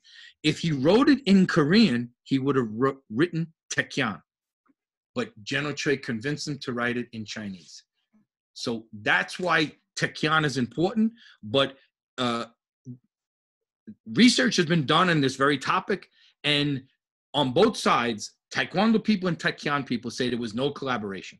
So technical wise, nothing. The name, because it's wholly indigenous, is very important to Korean people. It is so important. South Korea has made has gotten the UN to officially designate it as a cultural asset. So uh, again, a very long answer, but I hope that the information I gave you is substantial so you'll get enough of these details to start the understanding to fall into place. Thank you. Uh, thank you. Uh, we have uh, we had a question from Mr. Stuart Anslow uh, connected with uh, what you've just said. So the original question was, and I will um, read the later part of it as well. why did General Choi use Hanja and not Hangul to draw the figures of Taekwondo? Was it simply because of his calligraphy skills, perhaps? And if so, was the Taoism part mentioned, not just a great find later? As it seems more likely he added Do based on Karate Do he studied, as that was almost standard at the time. Okay, so here's where I might need a little help with this. The character for Dao comes from Chinese. I don't know the Japanese kanji for Do, how they use it, and I know how they apply it. But I don't, both Japan and Korea use hanja as underlying means to give uh, further meaning to things. So I don't, I cannot comment on how karate used it. The Tao is plain to see, written always by General Choi in Korean as Tao. Uh, what what what is different is how the two arts have applied it. So General Choi is not saying we're studying Taoism, but he's extrapolating from Taoism the moral character requirement for his art. Why? He wanted to produce sound physical students that were strong enough to stand on the side of justice at all time. But he wanted to put inside of them the character requirement to be honorable and to use it for just causes, mm-hmm. self defense, right? So that is when it goes back to what does taekwondo mean? According to general choi it means to have this physical way of protecting yourself uh, and the guidance to use that in a way that benefits society. What is the final stanza? The last line in the student oath that we say at the uh, uh, beginning or end of our training sessions? I shall build a more peaceful world that's why the instructor shoulder flashes has the blue on it. Blue is the recognized color of peace and calm. Uh, psychologists uh, suggest uh, making the walls a pale blue in prisons and in uh, psychologist offices and things for the, the calming effect. So everything General Choi did, he did with great thought. He really uh, went uh, uh, was a, a, a really deep thinker. So I can't compare it to the Do of how uh, karate used it. There's no question karate Do, and now he has the taekwondo. There's no question about that. Uh, but the way that he looks at the Do is very simple from his literature.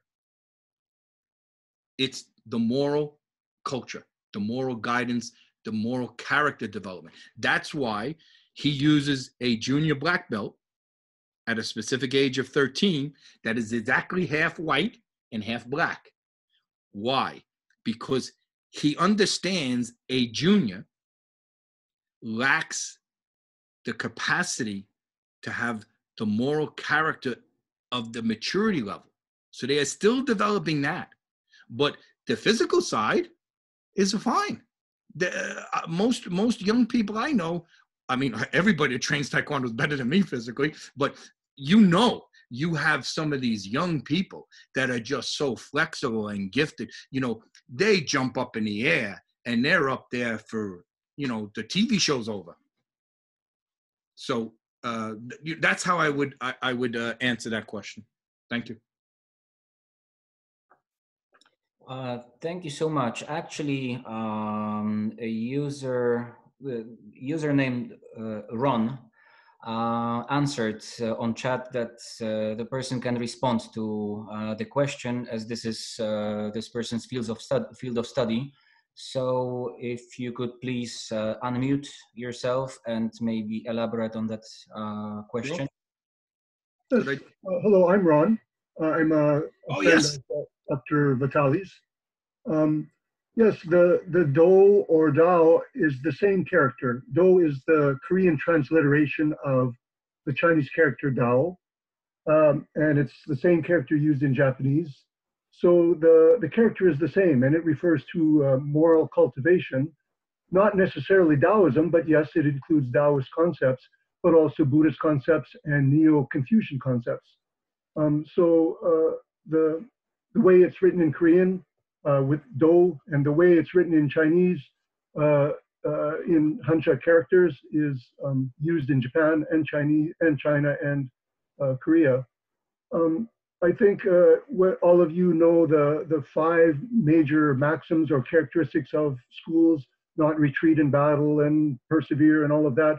Those are Neo-Confucian concepts that have a long history of application in uh, East Asian political philosophy and martial philosophy.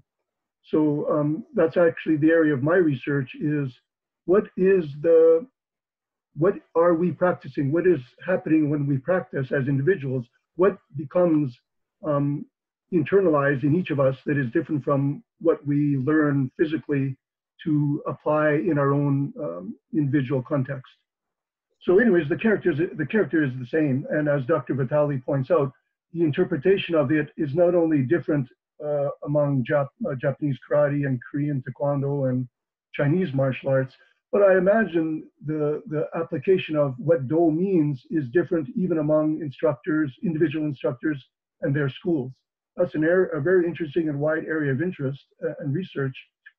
But I think the key aspect of that is the Do aspect of martial arts is much older than uh, the time frame that Dr. Vitale is talking about uh, concerning the beginning of Taekwondo, which is in the 40s and 50s and, and, and 60s. The Do concept goes way back to the time of Confucius and Mencius. Excellent. Thank you, sir. Yeah, thank you very much. Uh, so the next question uh, from a couple of people. Um, so, for example, in karate, uh, when uh, practitioners bow, they say os, and in Taekwondo we say Taekwon. And do you know why it, it is so? So why do we use Taekwon uh, when we bow? Yes. Okay, so uh, first of all, uh, Dr. Ron uh, is a PhD. He's one of the leading authorities in that area. That is his specialty.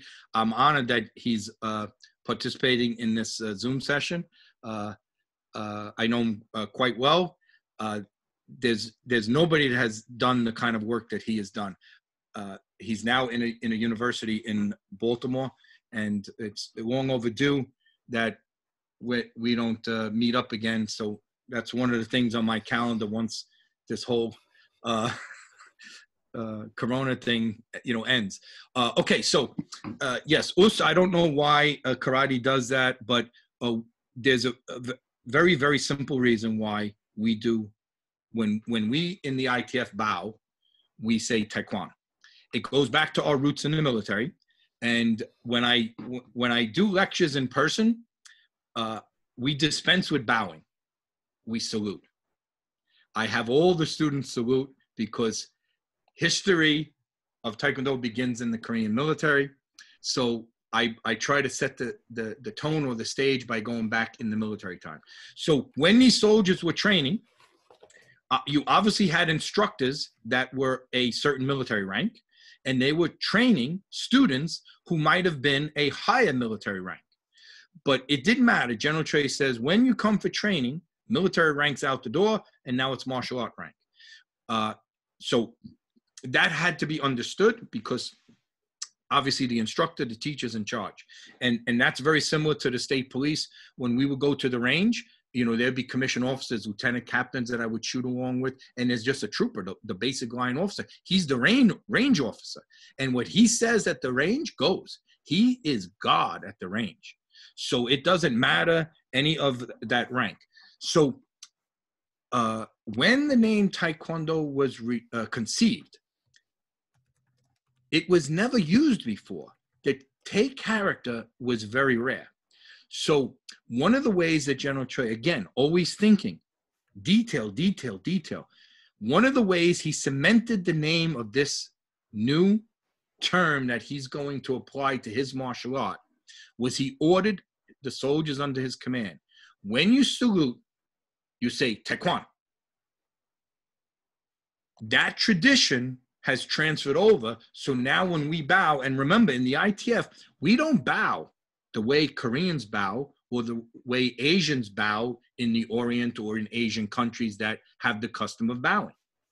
Bowing in Korea is very different from the way we bow in the ITF.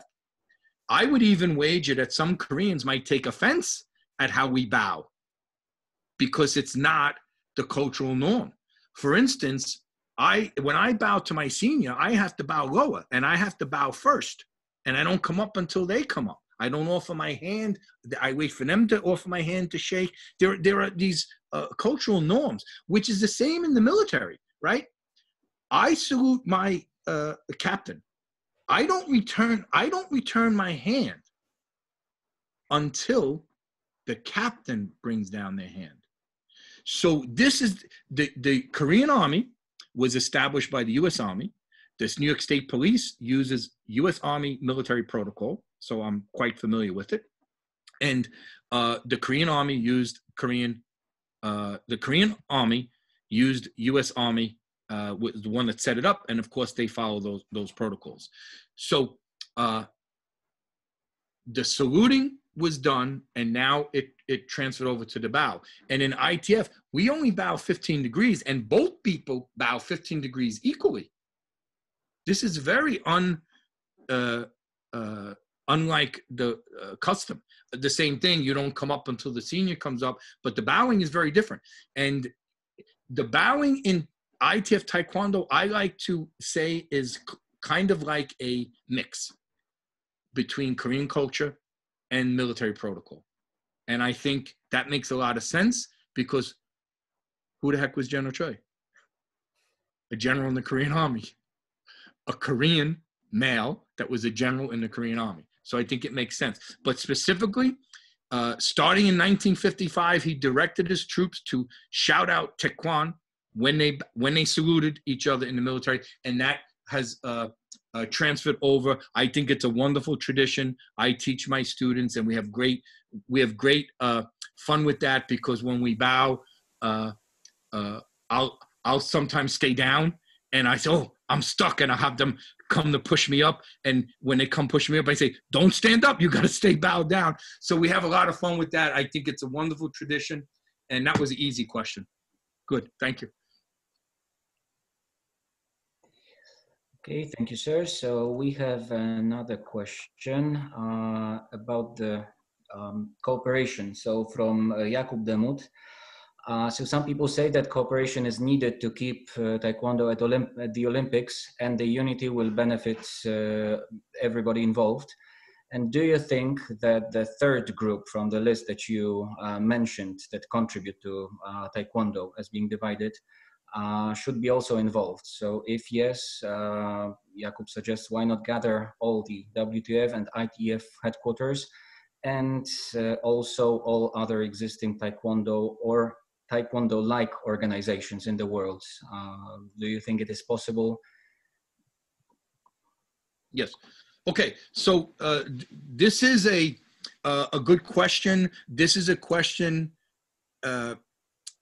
not for the historian because this is a question going forward. But as somebody that has delved deeply into the history, uh, I certainly can use guidance from what we've learned from the past in in in uh, advising us how to move forward. So we know unity. With unity, there's strength.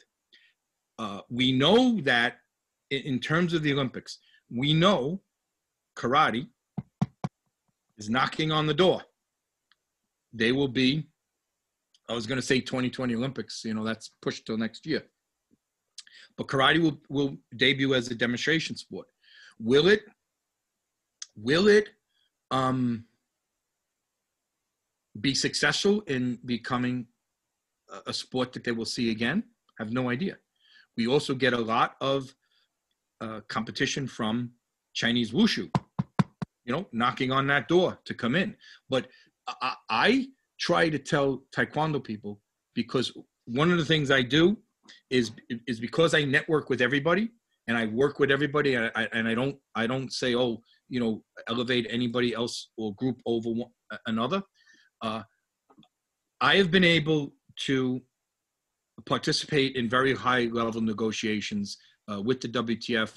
Uh, even the Kukkiwon has reached out to me, uh, the Taekwondowon, uh, uh, uh, you know. So I have been very involved in the latest work in, in bringing people together. So the WTF and Taekwondo in particular is not only facing pressure from karate and wushu, they are facing pressure from every other sport that's not in the Olympic program. If anybody remembers several years back, not that long ago, several years back, wrestling, the oldest Olympic sport, was removed from the program. It was through uh, Iran, Russia, uh, Putin uh, in particular, and uh, the United States, uh, uh, very influential in putting a lot of pressure that a special deal was made to save wrestling. So, what everybody has to understand, Taekwondo or otherwise, I don't remember the exact number of official sports there are in the Summer Olympic program. It's somewhere in the 20s. Uh, but it's somewhere in the 90s of sports out there that is recognized by the Olympic movement. They're they're recognized by uh, Sport Accord, uh, General Association of International Sp- uh, Sports Federations, right? So we know there are 90 plus sports, and we know there's only slots for 20 something. What this current IOC president, and I've met him, uh, Professor Chang Ung was very close with him. Uh, uh, they were uh, colleagues. Professor Chang worked very hard to get him elected as IOC president. And just like Dr. Kim Un Yong, I call him the miracle man of Olympic Taekwondo, the father of Olympic Taekwondo. This man pulled off a miracle. How did he do it? Uh, there are a lot of ways that he did it, but uh, he was a very powerful man in the international sports committee, uh, sports community, and he was also uh, uh, obviously, he made it to vice president of IOC. Uh, he could have been IOC president, except for all the scandals and whatnot that happened towards the end. But the IOC is all operates on these kind of relationships, and uh, prior when wrestling was got knocked out, people were shocked. And you know the two sports that they thought were going to get knocked out The pentathlon and taekwondo. Those were the ones that were the leading contenders to be unseated. They were shocked when it was wrestling. And the uh, pentathlon was saved, they say, because the president or vice president, I forget, is Juan Samaranch's son. So relationships and connections are very, very vital. So uh, the takeaway from this, the lesson to be learned is no sport is safe in the taekwondo, in the Olympic movement going forward. No sport. Taekwondo can be protected, can be protected by the fact that it is only one of two Asian sports. But obviously, if you take out Taekwondo and replace it with Japanese karate or Chinese wushu, no problem. Or if you take out Taekwondo and replace it with an Asian uh, stand up striking art combat thing, you, you, you, know, you don't have that uh, problem that you lost an Asian sport. But what's clear is no sport is guaranteed. And what this IOC president has done, and if you look at their 2020 agenda and beyond, they are no longer concerned with the amount of sports that are in the program. They are eh, concerned with the cap of the athletes. They can physically house, I think the number is 12,500 athletes in the Olympic Village with the security, the funding and stuff, transportation, meals, you name it. Uh, that is the level that they are comfortable with. So uh, it does not matter to them with the cap at 12,500 if the 12,500 comes from 25 sports or 35 sports or 40 sports. What matters to them is one thing and one thing only advertising revenue.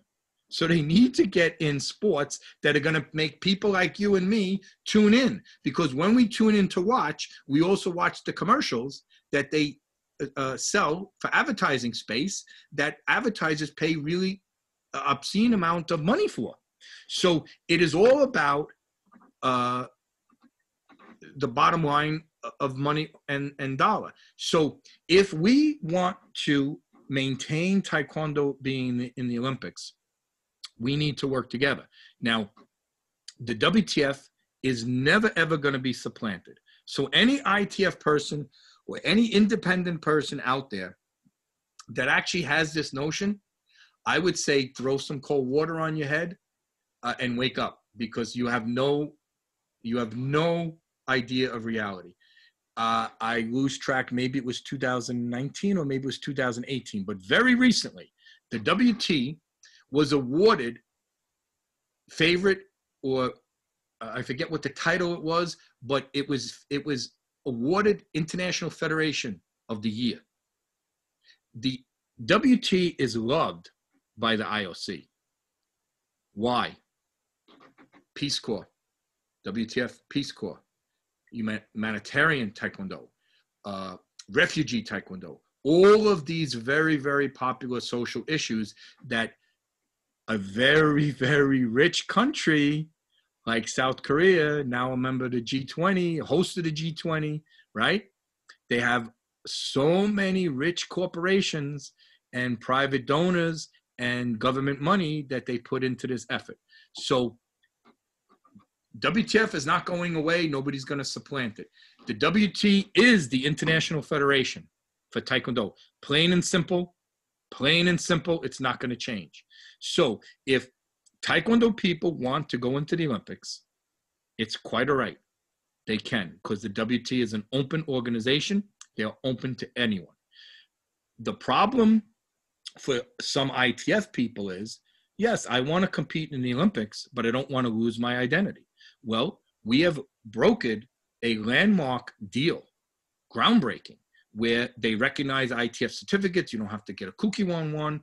Uh, they recognize our our uh, coaches, our uh, instructors, our umpires. All of this stuff has happened. It's all a done deal. Now, uh, they are open to anyone, and the the reality is that this is only possible for one reason and one reason only. North Korea is a member nation of ITF. And North Korea and South Korea are divided. It's a very political issue. So, therefore, politics is the driving force behind it. The IOC wants nothing more to do than put a feather in their cap showing they have they have brought the two halves of Korea divided since 1945 together through sport. The IOC motto is peace through sport. So that is what the focus is on. So with that being said, anybody can go into the WTF umbrella. If you don't, if you are an ITF stylist and you don't want to give up your ITF uh, background, your ITF uh, banner, or, or so to speak, it's now possible through this alternate route with certification because the WT has recognized the ITF as a legitimate sister organization uh, on the international level. So that's all done. That's all done. The remaining part, and it's the hardest part, is well, when uh, and these things I can't talk about the details because it's ongoing, uh, and these negotiations are uh, confidential. But one of the main things that the WTF wants, I believe they can get, but it's a very hard sell, and it's not going to be given to them unless the ITF gets something that they really want. That's going to be a hard sell. So, uh, I do think it's possible, but what I think ITF people want is reasonable in terms of the overall Olympic movement. Track and field has how many different events, right? You have the marathon, you got a hundred hundred meter dash or whatever. You know, I, you know, I don't know whether the, actual names. And swimming, how many events does swimming have? You know, backstroke, breaststroke, butterfly. You know, I, they have so many diving, the height of the platform. They have so many events. There's no reason why Taekwondo cannot have WTF sparring, ITF sparring. WTF sparring, ITF patterns, uh, WTF patterns, ITF patterns.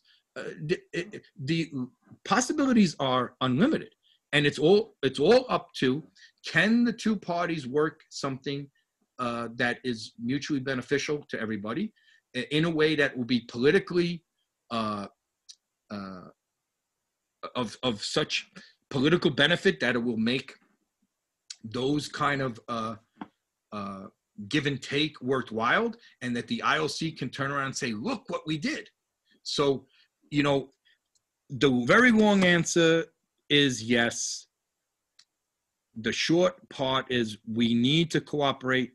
The more that we cooperate, the better the outcome will be for everybody. But cooperation is, is, is sometimes difficult. You know, I said, I would say to people, you know, on one side is zero, the other side is a hundred so if we're over here, the ITF, we have nothing, right? Any ITF, I don't care who signs your certificates, I don't care. Uh, you do Chunji, you're over here, you have nothing as far as the Olympic movement goes. If you're WTF, you're over here and you have 100. So on a scale of zero to 100, me, myself, and I, the three of us, along with the people I've been networking with, maybe we move our side over to 21 and all the people that didn't help us are going to say, see, look at the final product. It's nothing. And I say to them, if you helped, maybe we could have been to 25 or 33 or 41. You didn't help. All you did was badmouth. All you did was badmouth. So, yeah, I'm not happy with the final product, but what do you want when we do it on our own?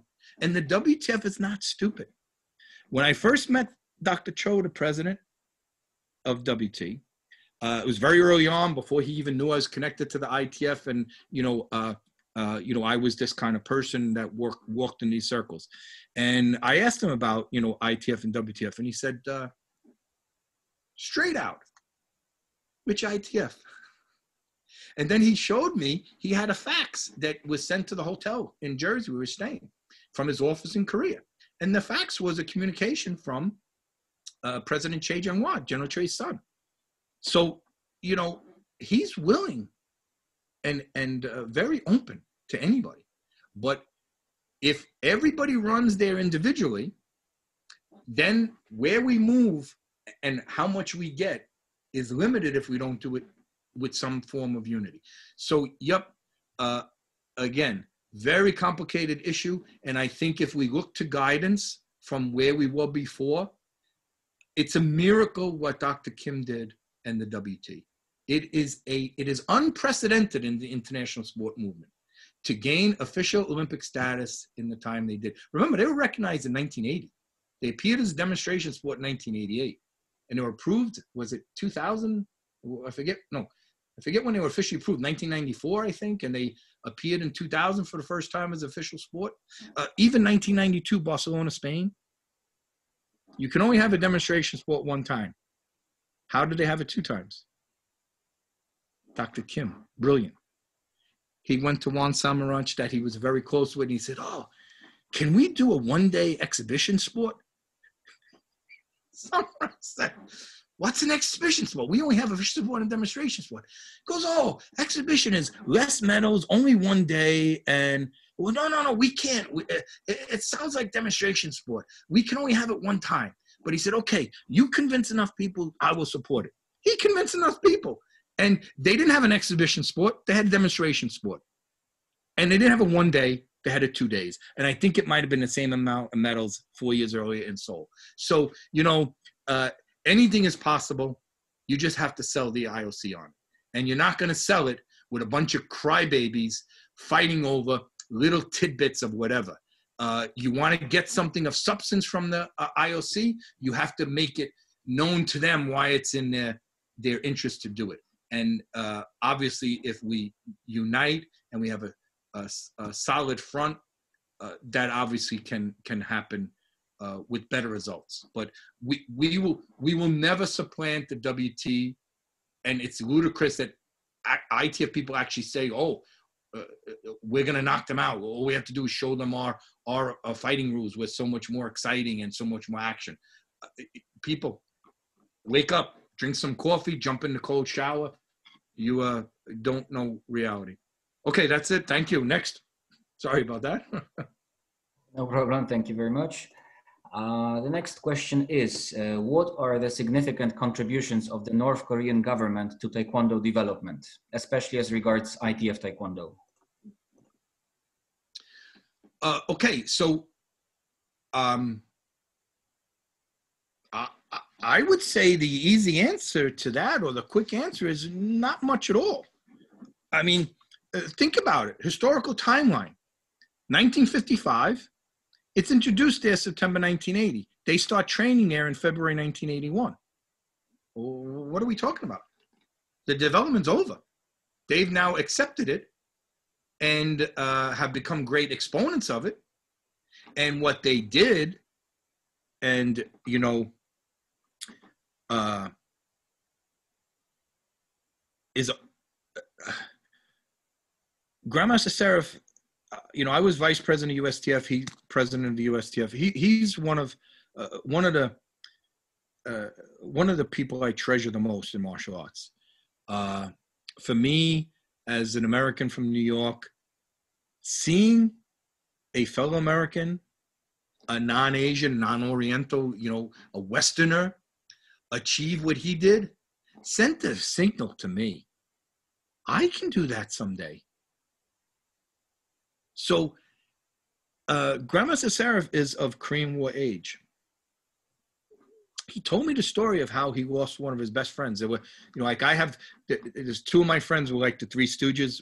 My my friend's girlfriend says, "Oh, the Three Stooges, the Three Musketeers," right? Depending on what's going on, we're either the Three Musketeers or the Three Stooges. So he had his Three Musketeers, his Three Stooges, and one of them was killed in the Korean War. So he went in 1980 on the 7th ITF demonstration team to North Korea and pledged never to go back again because he felt it was very harsh uh, with the propaganda and how they portray our country, uh, our people, and our government. So uh, he said to me, and, and I have a, I have a copy of his certificate. He was a Secretary General of the ITF in the early 80s. He was a fifth degree black belt the Secretary General of the ITF. Why? They had nobody. Everybody more or less was gone. Grandmaster Rhee Ki Ha stayed, start to finish, the only Korean loyal to General Choi from start to finish. So the ITF was broken. When they went to North Korea, that was the final nail in the coffin. Now, General Choi and his band of Taekwondo guys were not just communist sympathizers, they were traitors. They actually considered them to commit treason. Now, I don't believe any of that, but if you are a Korean and you have these feelings, if your family and your country suffered in a devastating civil war that was among the most the highest amount of death and destruction in a war of that period that ever ever was waged on this planet so i understand i understand that sentiment and i will never try to talk somebody out of it but when general choi went there they all left him they were blacklisted they were written out of history they don't deserve that treatment, especially the ones that didn't go and the ones that walked away. But it didn't matter. The dictatorship ruined them. And it's important that we give them their good names back. So, what happened was the ITF was broken. If you look at the World Championships, the third one held in Argentina, and I finally got the results thanks to Grandmaster Nestor Galarraga. Uh, hardly anybody showed up. Now, I don't mean Korean instructors. I mean, I, I, think there was like 13 countries. How do you have a world championship with 13 countries? So we were broken. And uh, eventually, the ITF moved to Vienna, Austria. We, conti- we continued to spread to Eastern Europe, the Communist bloc, uh, Soviet Union, Red China, all these communist socialist countries that South Korea could not go to uh, some of you were there, Budapest, March, April 1988, the World Championships, sixth ITF World Championships. The biggest one so far it was broadcast all over Europe.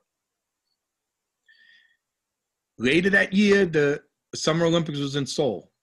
And you know what the South Korean government did for the first time ever as a result of those Olympics? They instituted diplomatic relationships with Hungary. We already hosted they are hungary already hosted a world championship. Do you know how far ahead we were? And uh, we're being hosted by poland today. Uh, north korea had Kyokushin instructors in poland that were recalled and replaced by taekwondo instructors. So what north korea did was financially support the itf like south korea was doing with the wtf what North Korea did was give General Choi Korean instructors that we could be dispatched around the world. And they were dispatched around the world to places the WTF could not go. So uh, they could not go there because they didn't have any diplomatic relations. They could not go there. And we set up Taekwondo in all those countries. It was General Choi and the ITF that spread Taekwondo around the world, the whole world, including the socialist and communist countries, including the third world non aligned countries. He spread Taekwondo around the world. He should be uh, applauded for that. And uh, he's been paid back with terrible slander. But uh, what uh, eventually we moved the ITF headquarters to Vienna, Austria, as I said, and we purchased a building of our own. It's the present location. And that was done with North Korean funds. Uh, that money was paid back through certificate bartering fees and, and whatnot. But the ITF probably would have been just, uh, just totally collapsed in the 1980s if we did not have the support of North Korea. And of course, now uh, it's amazing if you go to WT office in, in Switzerland, in the Olympic city of Lucerne, or in Seoul, uh, you go to the Kukkiwon or the Taekwondowon or the KTA. I mean, they have leading academic professionals at major universities that conduct all kinds of research for them. And that's one of the things that we have in uh, the government in Pyongyang because that similar type of uh, support that uh, you know, sadly, you don't get from anywhere else around the world. And one of the things that, that I'm trying to do is is network eventually the South Korean professors and the North Korean professors. One of the things they want to uh, approach me about discussing is establishing a philosophical base for Taekwondo, as as as well as you know exchange of the of the technical types of things. And these things are long overdue. But uh, uh, there is no doubt about the kind of support that North Korea gave. It, it, comes at a very high price, sadly, but again, that's the political reality. But as far as the development of it, I don't really think, uh, you know, technical wise, because General Choi set the syllabus and the syllabus is set. Uh, so, from a technical standpoint, you know, uh, even the controversy of Juche, that was General Choi's creation. It wasn't theirs. And even sine wave. Sine wave didn't come from North Korea. Sine wave was back from the 60s. It was in the 60s in the ITF official training. They didn't call it sine wave. And in I have it written down somewhere in Korean what they called it in those first uh, training sessions. It wasn't called sine wave. It was called something that translated to rhythmic motion, right? You wanted to move your body in a rhythmic motion. So uh, I don't really think it's anything that relates on the uh, purely technical side. I think it was financial, and you know, obviously, look at look at today. Poland is one of the powerhouses in ITF Taekwondo, and uh, only the Polish people can answer why it's uh, uh, considered a powerhouse, but it, it is. Russia is considered a powerhouse. North Korea is. Even Ireland now. Look at the advances Ireland has done uh, Argentina, a powerhouse, always was. So, uh, uh, in in places, Czech Republic, where you know uh, Bulgaria, they have high standard, and they they still have North Korean instructors that are resident there. So, uh, you know, along in in those terms, I think that's where the you know the support could be. But uh, thank you. Good good question. Thank you. Um, uh, we have a question about uh, Alex Gillis's book. Um, in the book, uh, General Choi quote removed unquote his son Choi Jung-hwa from becoming the next president, accusing Choi Jung-hwa's plan to kill him. And the question is, what do you think about this? And do you have any idea why the argument started? Uh, okay, so uh, it kill who? Uh, well, the question says accusing Choi Jung-hwa's plan to kill him. Oh, okay, okay. No, oh, I, I would have to I, look at that actual quote. Okay, so uh, uh, uh, I, I don't I don't want anything to do with delving into personal family matters. That's a, a something that's a, a, private nature. But I, I will tell you, I will tell you what was happening. So we know uh, from the context of the times, we know that uh, President Choi Jung-hwa was a very, very popular. He was traveling the world. Uh, he's such a lovely man. Uh, his personality is very much like General Choi. So he's, he has this magnetic personality. His English is flawless. And uh, he presented a very good image and connected with a lot of people around the world. Very similar to the way the late, great Grandmaster Park Chung-tae was. Uh, we called Park Chung Tae the people's master. There was something special about him. So when you have a person that's the face of ITF that's traveling the world, they connect with people. And General Choi was not a, a, a, dumb person at all. He thought of No Jik being uh, successor as ITF president. He thought of Jun Ri being successor as ITF president. He thought of Park Jung Soo being successor of ITF president. He thought about Kang Soo Chung. The, the, he's still alive. The, the most senior taekwondo proponent in the world. He thought about him being next ITF president, and he thought about his own son being next ITF president. So, uh, in 2001, in 2000, uh, this topic started coming up, and General Choi said, both in writing and uh, in public, from his own mouth, uh, his son would succeed him as president of ITF. And we know what happened in Italy, where uh, there was a movement to start that transitional process. And there's a lot of controversy. Uh, was that by the book and all these other things? It, it, doesn't matter.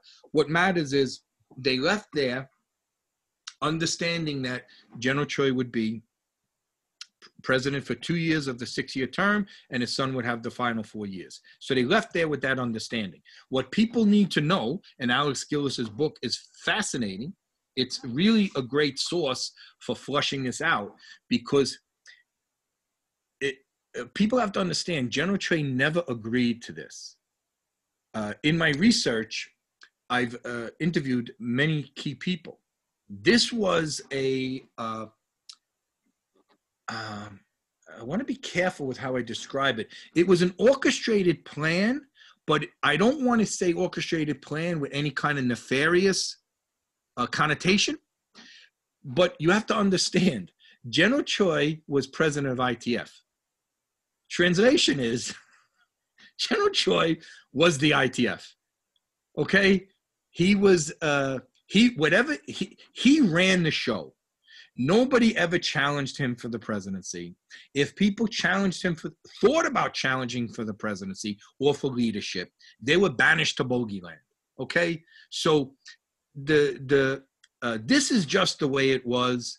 It's not a bad thing necessarily. It's just the way it was. Did anybody challenge Kim Un Yong for presidency? Did were there any contested elections? I mean, he ruled uh, uh, with an iron fist, and he was phenomenal. Look what he did. So, uh, 2001, this happens. But what people need to understand is General Choi was caught off guard by that. But since the plan was so well uh, organized, that it was able to go through. And uh, now it goes through, and now General Choi starts thinking, how do I undo this? And that's when the meeting comes up in January of 2002 in Vienna, Austria. And th- does that meeting, was it by the book?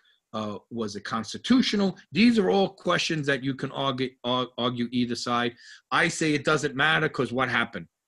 His son was the sitting secretary general of the ITF. He was not allowed in the meeting. Uh, people that supported him were official registered ITF NGB delegates were not allowed into the meeting. So, did the meeting have the proper quorum? Did it have the uh, uh, uh amount of time required for a notice? Was it done the right way? All that stuff, please. It's ridiculous. They don't let the Secretary General of the ITF in. They don't let official delegates in. That tells you about that meeting. Now, what happens after the meeting? There was not a legal recourse to battle what was clearly not legitimate. There was a declaration we are creating our own ITF. They resigned from ITF, they established a new ITF. So that means there's two ITFs. And then, of course, General Choi dies and the ITF splits again. So uh, it's clear to me General Choi wanted his son to succeed him. He said it. We don't need to make it up. He said it. He's on record saying it. We know what happened in Italy. We know what happened afterwards. Now, here's why what happened afterwards. Again, you cannot understand unless you understand the context of the political times. General Choi died June 15, 2002. On June 15, 2000, two years exactly to the day before, Kim Dae-jung, Kim Jong-il meet. For the first time, the two leaders of Korea meet face to face in this historic summit. When their summit ended, and again, if you go to Korean media, you will see there were eight points, eight points of cooperation that the two unification ministries of Pyongyang and Seoul of the two Koreas were going to work on. One of those eight points, bullet points, was the integration of Taekwondo and exchange of demonstration teams. So General Choi is saying, Oh my God, I finally am going to sit at the table with my archenemy, my nemesis, the pain in my neck, the thorn in my side, Kim Un Yong. They were supposed to meet in Pyongyang and Seoul and start this process. And what happens? General Choi now is going to be replaced. So he says, Oh my God, with this br- breakthrough, I need to maintain. This is what he used as his reasoning. Remember, he never conceded to this two year, four year transition, but now he had a a foolproof, airtight excuse to undo the election. So they then, whether they undid it or not, is a moot point because uh, those people resigned from the ITF. They weren't expelled. They resigned from the ITF. Uh, it's all in writing. I have these doc- documents. So now they go their own separate way. So a lot of this uh, uh, happened was very unfortunate. The timing was was terrible to say the least, and uh, people have to understand the real reasons behind is politics of North and South Korea. The final pattern in General Choi's syllabus, Tongil, unification. He worked his whole life, his whole life to reunify his country at great loss personally. And of course, family wise too, as we can see. But this was his this was his quest. This was his goal. He used Taekwondo, he used ITF, he used anything to accomplish this. And uh, I'm glad to see that today in South Korea he's being recognized for those efforts. But unfortunately, for ITF, it caused a lot of problems, and sadly, tragically, for his family. But you know, uh, uh, being with the the Choi family and being honored, they they uh, gave me the Choi Family Star. I was just moved to tears. Uh, uh, getting to know uh, his widow and uh, his son and his daughters and his granddaughter. You know, uh, uh, they're such a wonderful family that has given up a lot. Uh, uh, Grandmaster Jung Woo-jin from Taekwondo Times, he interviewed uh, Mrs. Che, and she repeated these remarks at the 100 year celebration of General Choi's birth. She said, When I meet my husband in the afterlife, I need to apologize to him because I never knew the global impact he had with Taekwondo. She said, I have to apologize because if I could go back in time, I would do things differently to support him even more. So, you know, uh, from a family standpoint, you know, I wanted my father to come watch me play ball, baseball, right? American pastime. And, uh, you know, he worked hard. He wasn't there all the time and whatnot. But think about it. General Choi, all around the world, he would say, have two homes, one in Canada, one in the airplane. I mean, the man just was crazy with Taekwondo. So that is definitely uh, a, a, an unfortunate chapter. Uh, it, it is the reality. And I'm, I'm just happy now that uh, the family has really uh, healed a lot. And, you know, it's an important question. And, and I hope people don't think I, I dodged it. And, and I hope that uh, my answer was, uh, you know, honest and to the point. Thank you.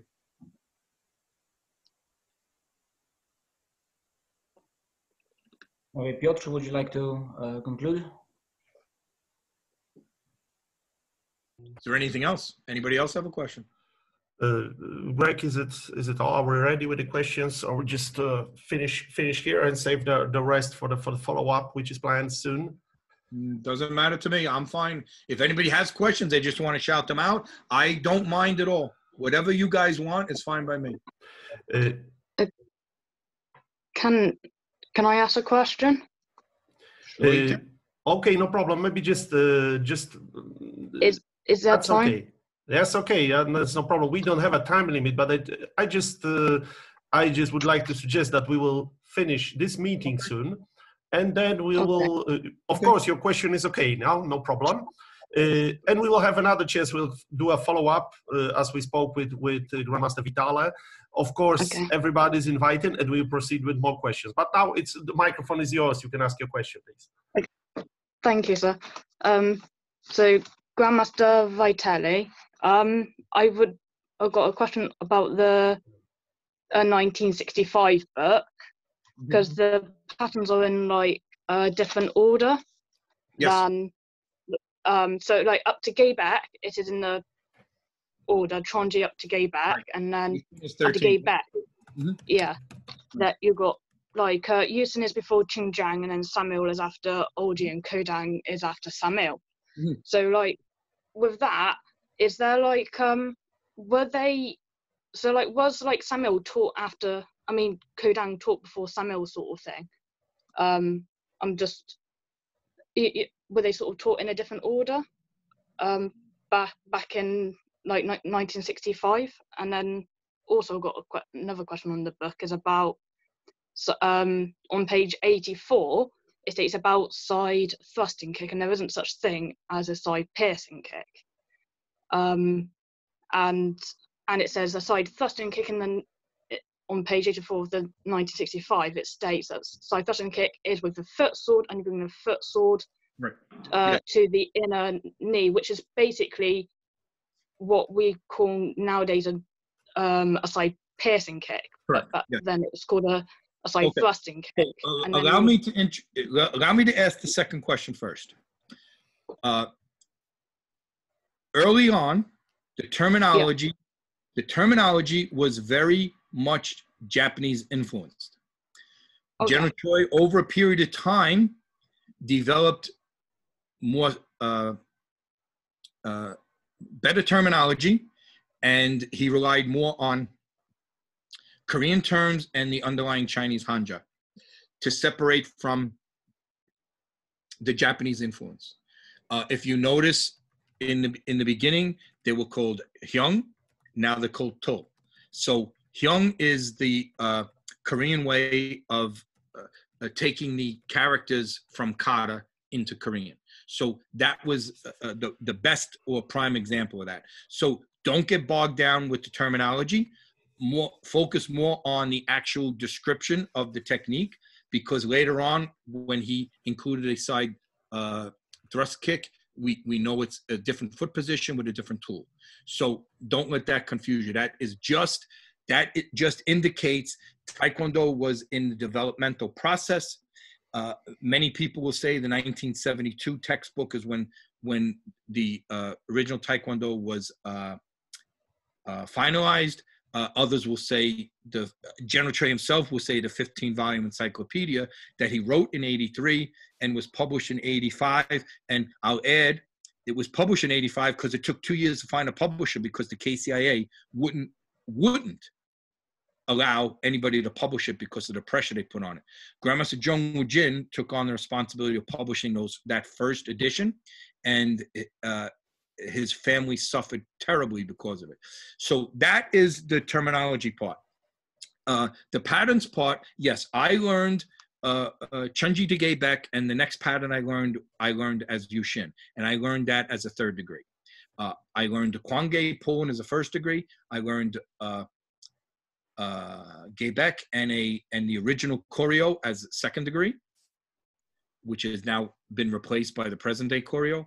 And then I learned Yushin as a third degree. And my teacher, I learned from General Choi. He only went to a seminar where General Choi went over the first 12 patterns. And then, of course, he had the book and whatnot. So I don't know in the book, 65 book if there was much consideration to the sequential order of the patterns, how they're listed in the pattern section, because the priority was getting the book finished in English so they had copies to distribute when they went on the Goodwill tour. So remember, that Goodwill tour was very important because it gave several countries that would, in less than a year, become the founding member nations of the ITF. So the emphasis on the book was uh, getting it printed. So I would have to then look, and I don't know this off the top of my head, and this is where you have to research this. So this is homework for you.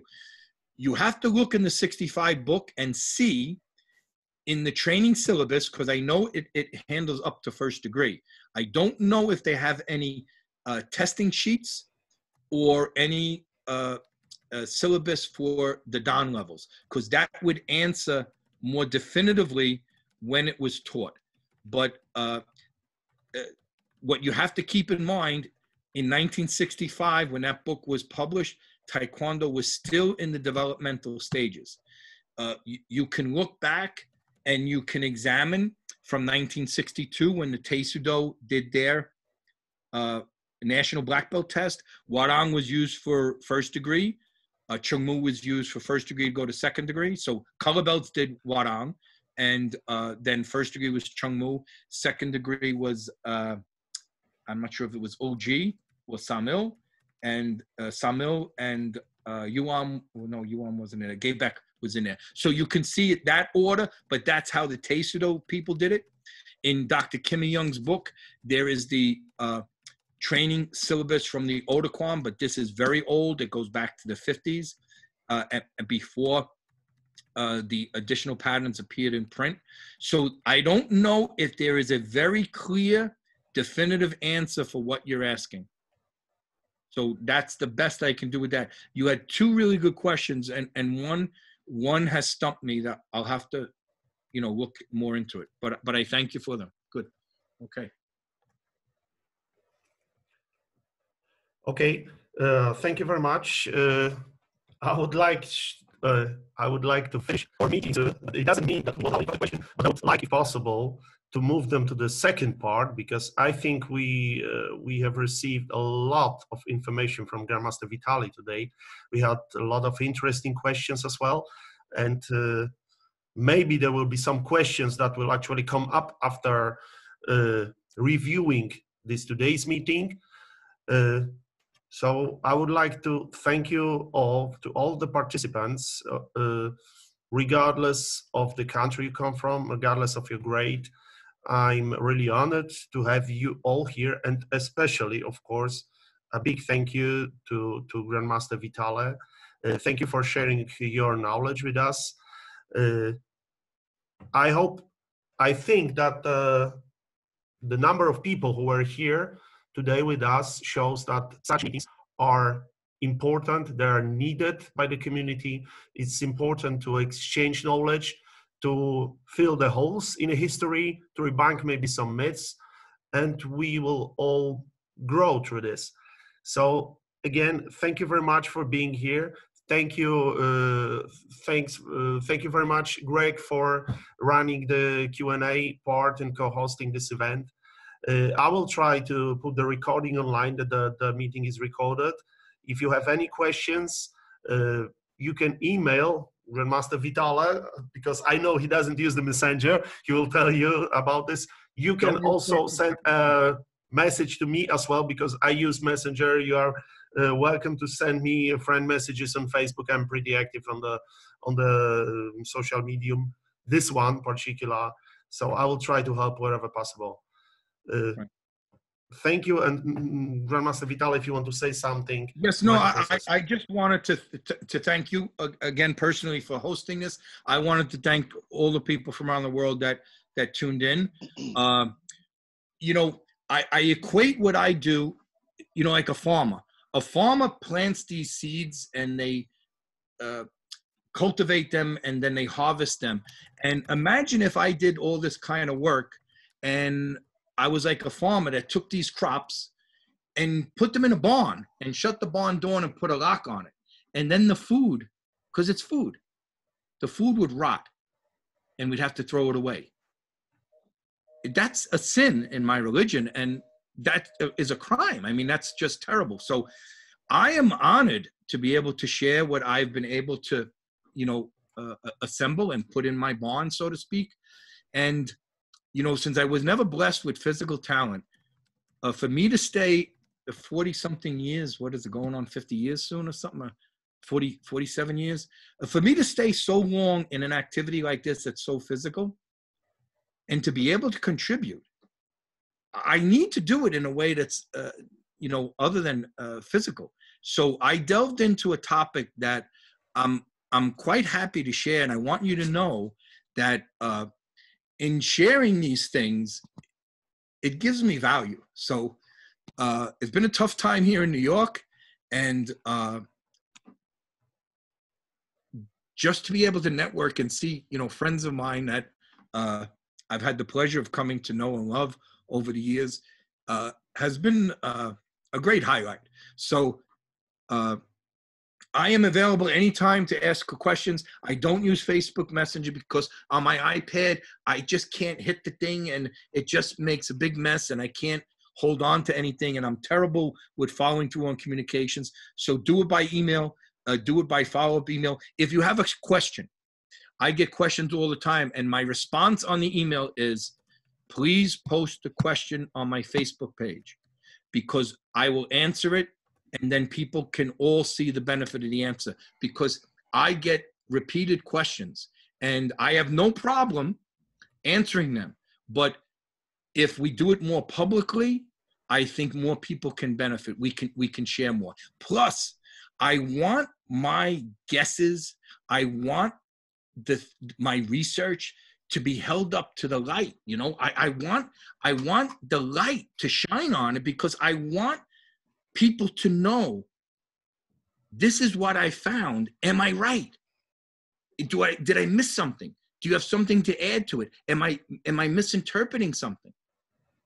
So Taekwondo can be very political, and you know, my father's stronger than your father, my mother's prettier than your mother, or whatever, right? We all get, but when you show me I'm wrong, I'm not mad. I win. Why? Because I learned more of the truth.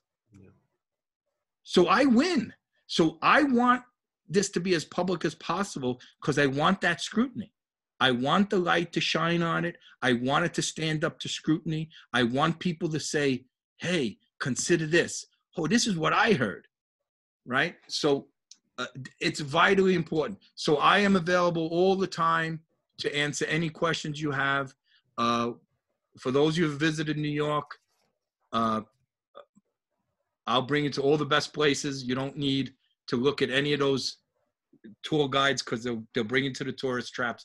I'll bring you to real New York. As, and I know some of you here already been to my house and or been out and about with me, taking you to places that are gems that we as New Yorkers know are gems, but you would have never known about them because you're from halfway around the world and you got some tourist book that's going to lead you to, you know, the restaurant that pays for that advert or something. So it really would be my pleasure. Uh, taekwondo my religion, my family, my academic education has made me who I am today. And uh, I don't know where I'd be without Taekwondo and you guys. So please feel free to reach out to me anytime, anytime about any subject matter. The most I can say is, I'm sorry I don't know, and maybe we can work on finding the answer together. And I'm just going to end with saying I am working on a project. We have all the results for the ITF World Championships except 1978 Oklahoma. So we're going to start somehow uh, posting uh, what little results we have, and every single person has to spread the word. Do you know anybody that was in Oklahoma in 1978? Do you know anybody that won? Do you have archives from your uh, NGB or your association who went? We can ask. We need to compile the remaining missing results from the second ITF World Championships. It's embarrassing. It's embarrassing not to have this. So I know if we don't do it now, it's going to be so much more difficult to do 20 years down the line. So uh, I've been working with some great people over the years. Now I got uh, two more partners, one from Argentina, one from New Zealand, that's really gung ho about doing this. So we need to move that project forward. I need your help. Don't say no. Pay back by paying forward. Do this. Reach out. Somebody knows these answers. Somebody has clippings and I went through every magazine I could find, nothing. You guys have it. I know somebody has it. We have to find it. We have to be persistent. So thank you again.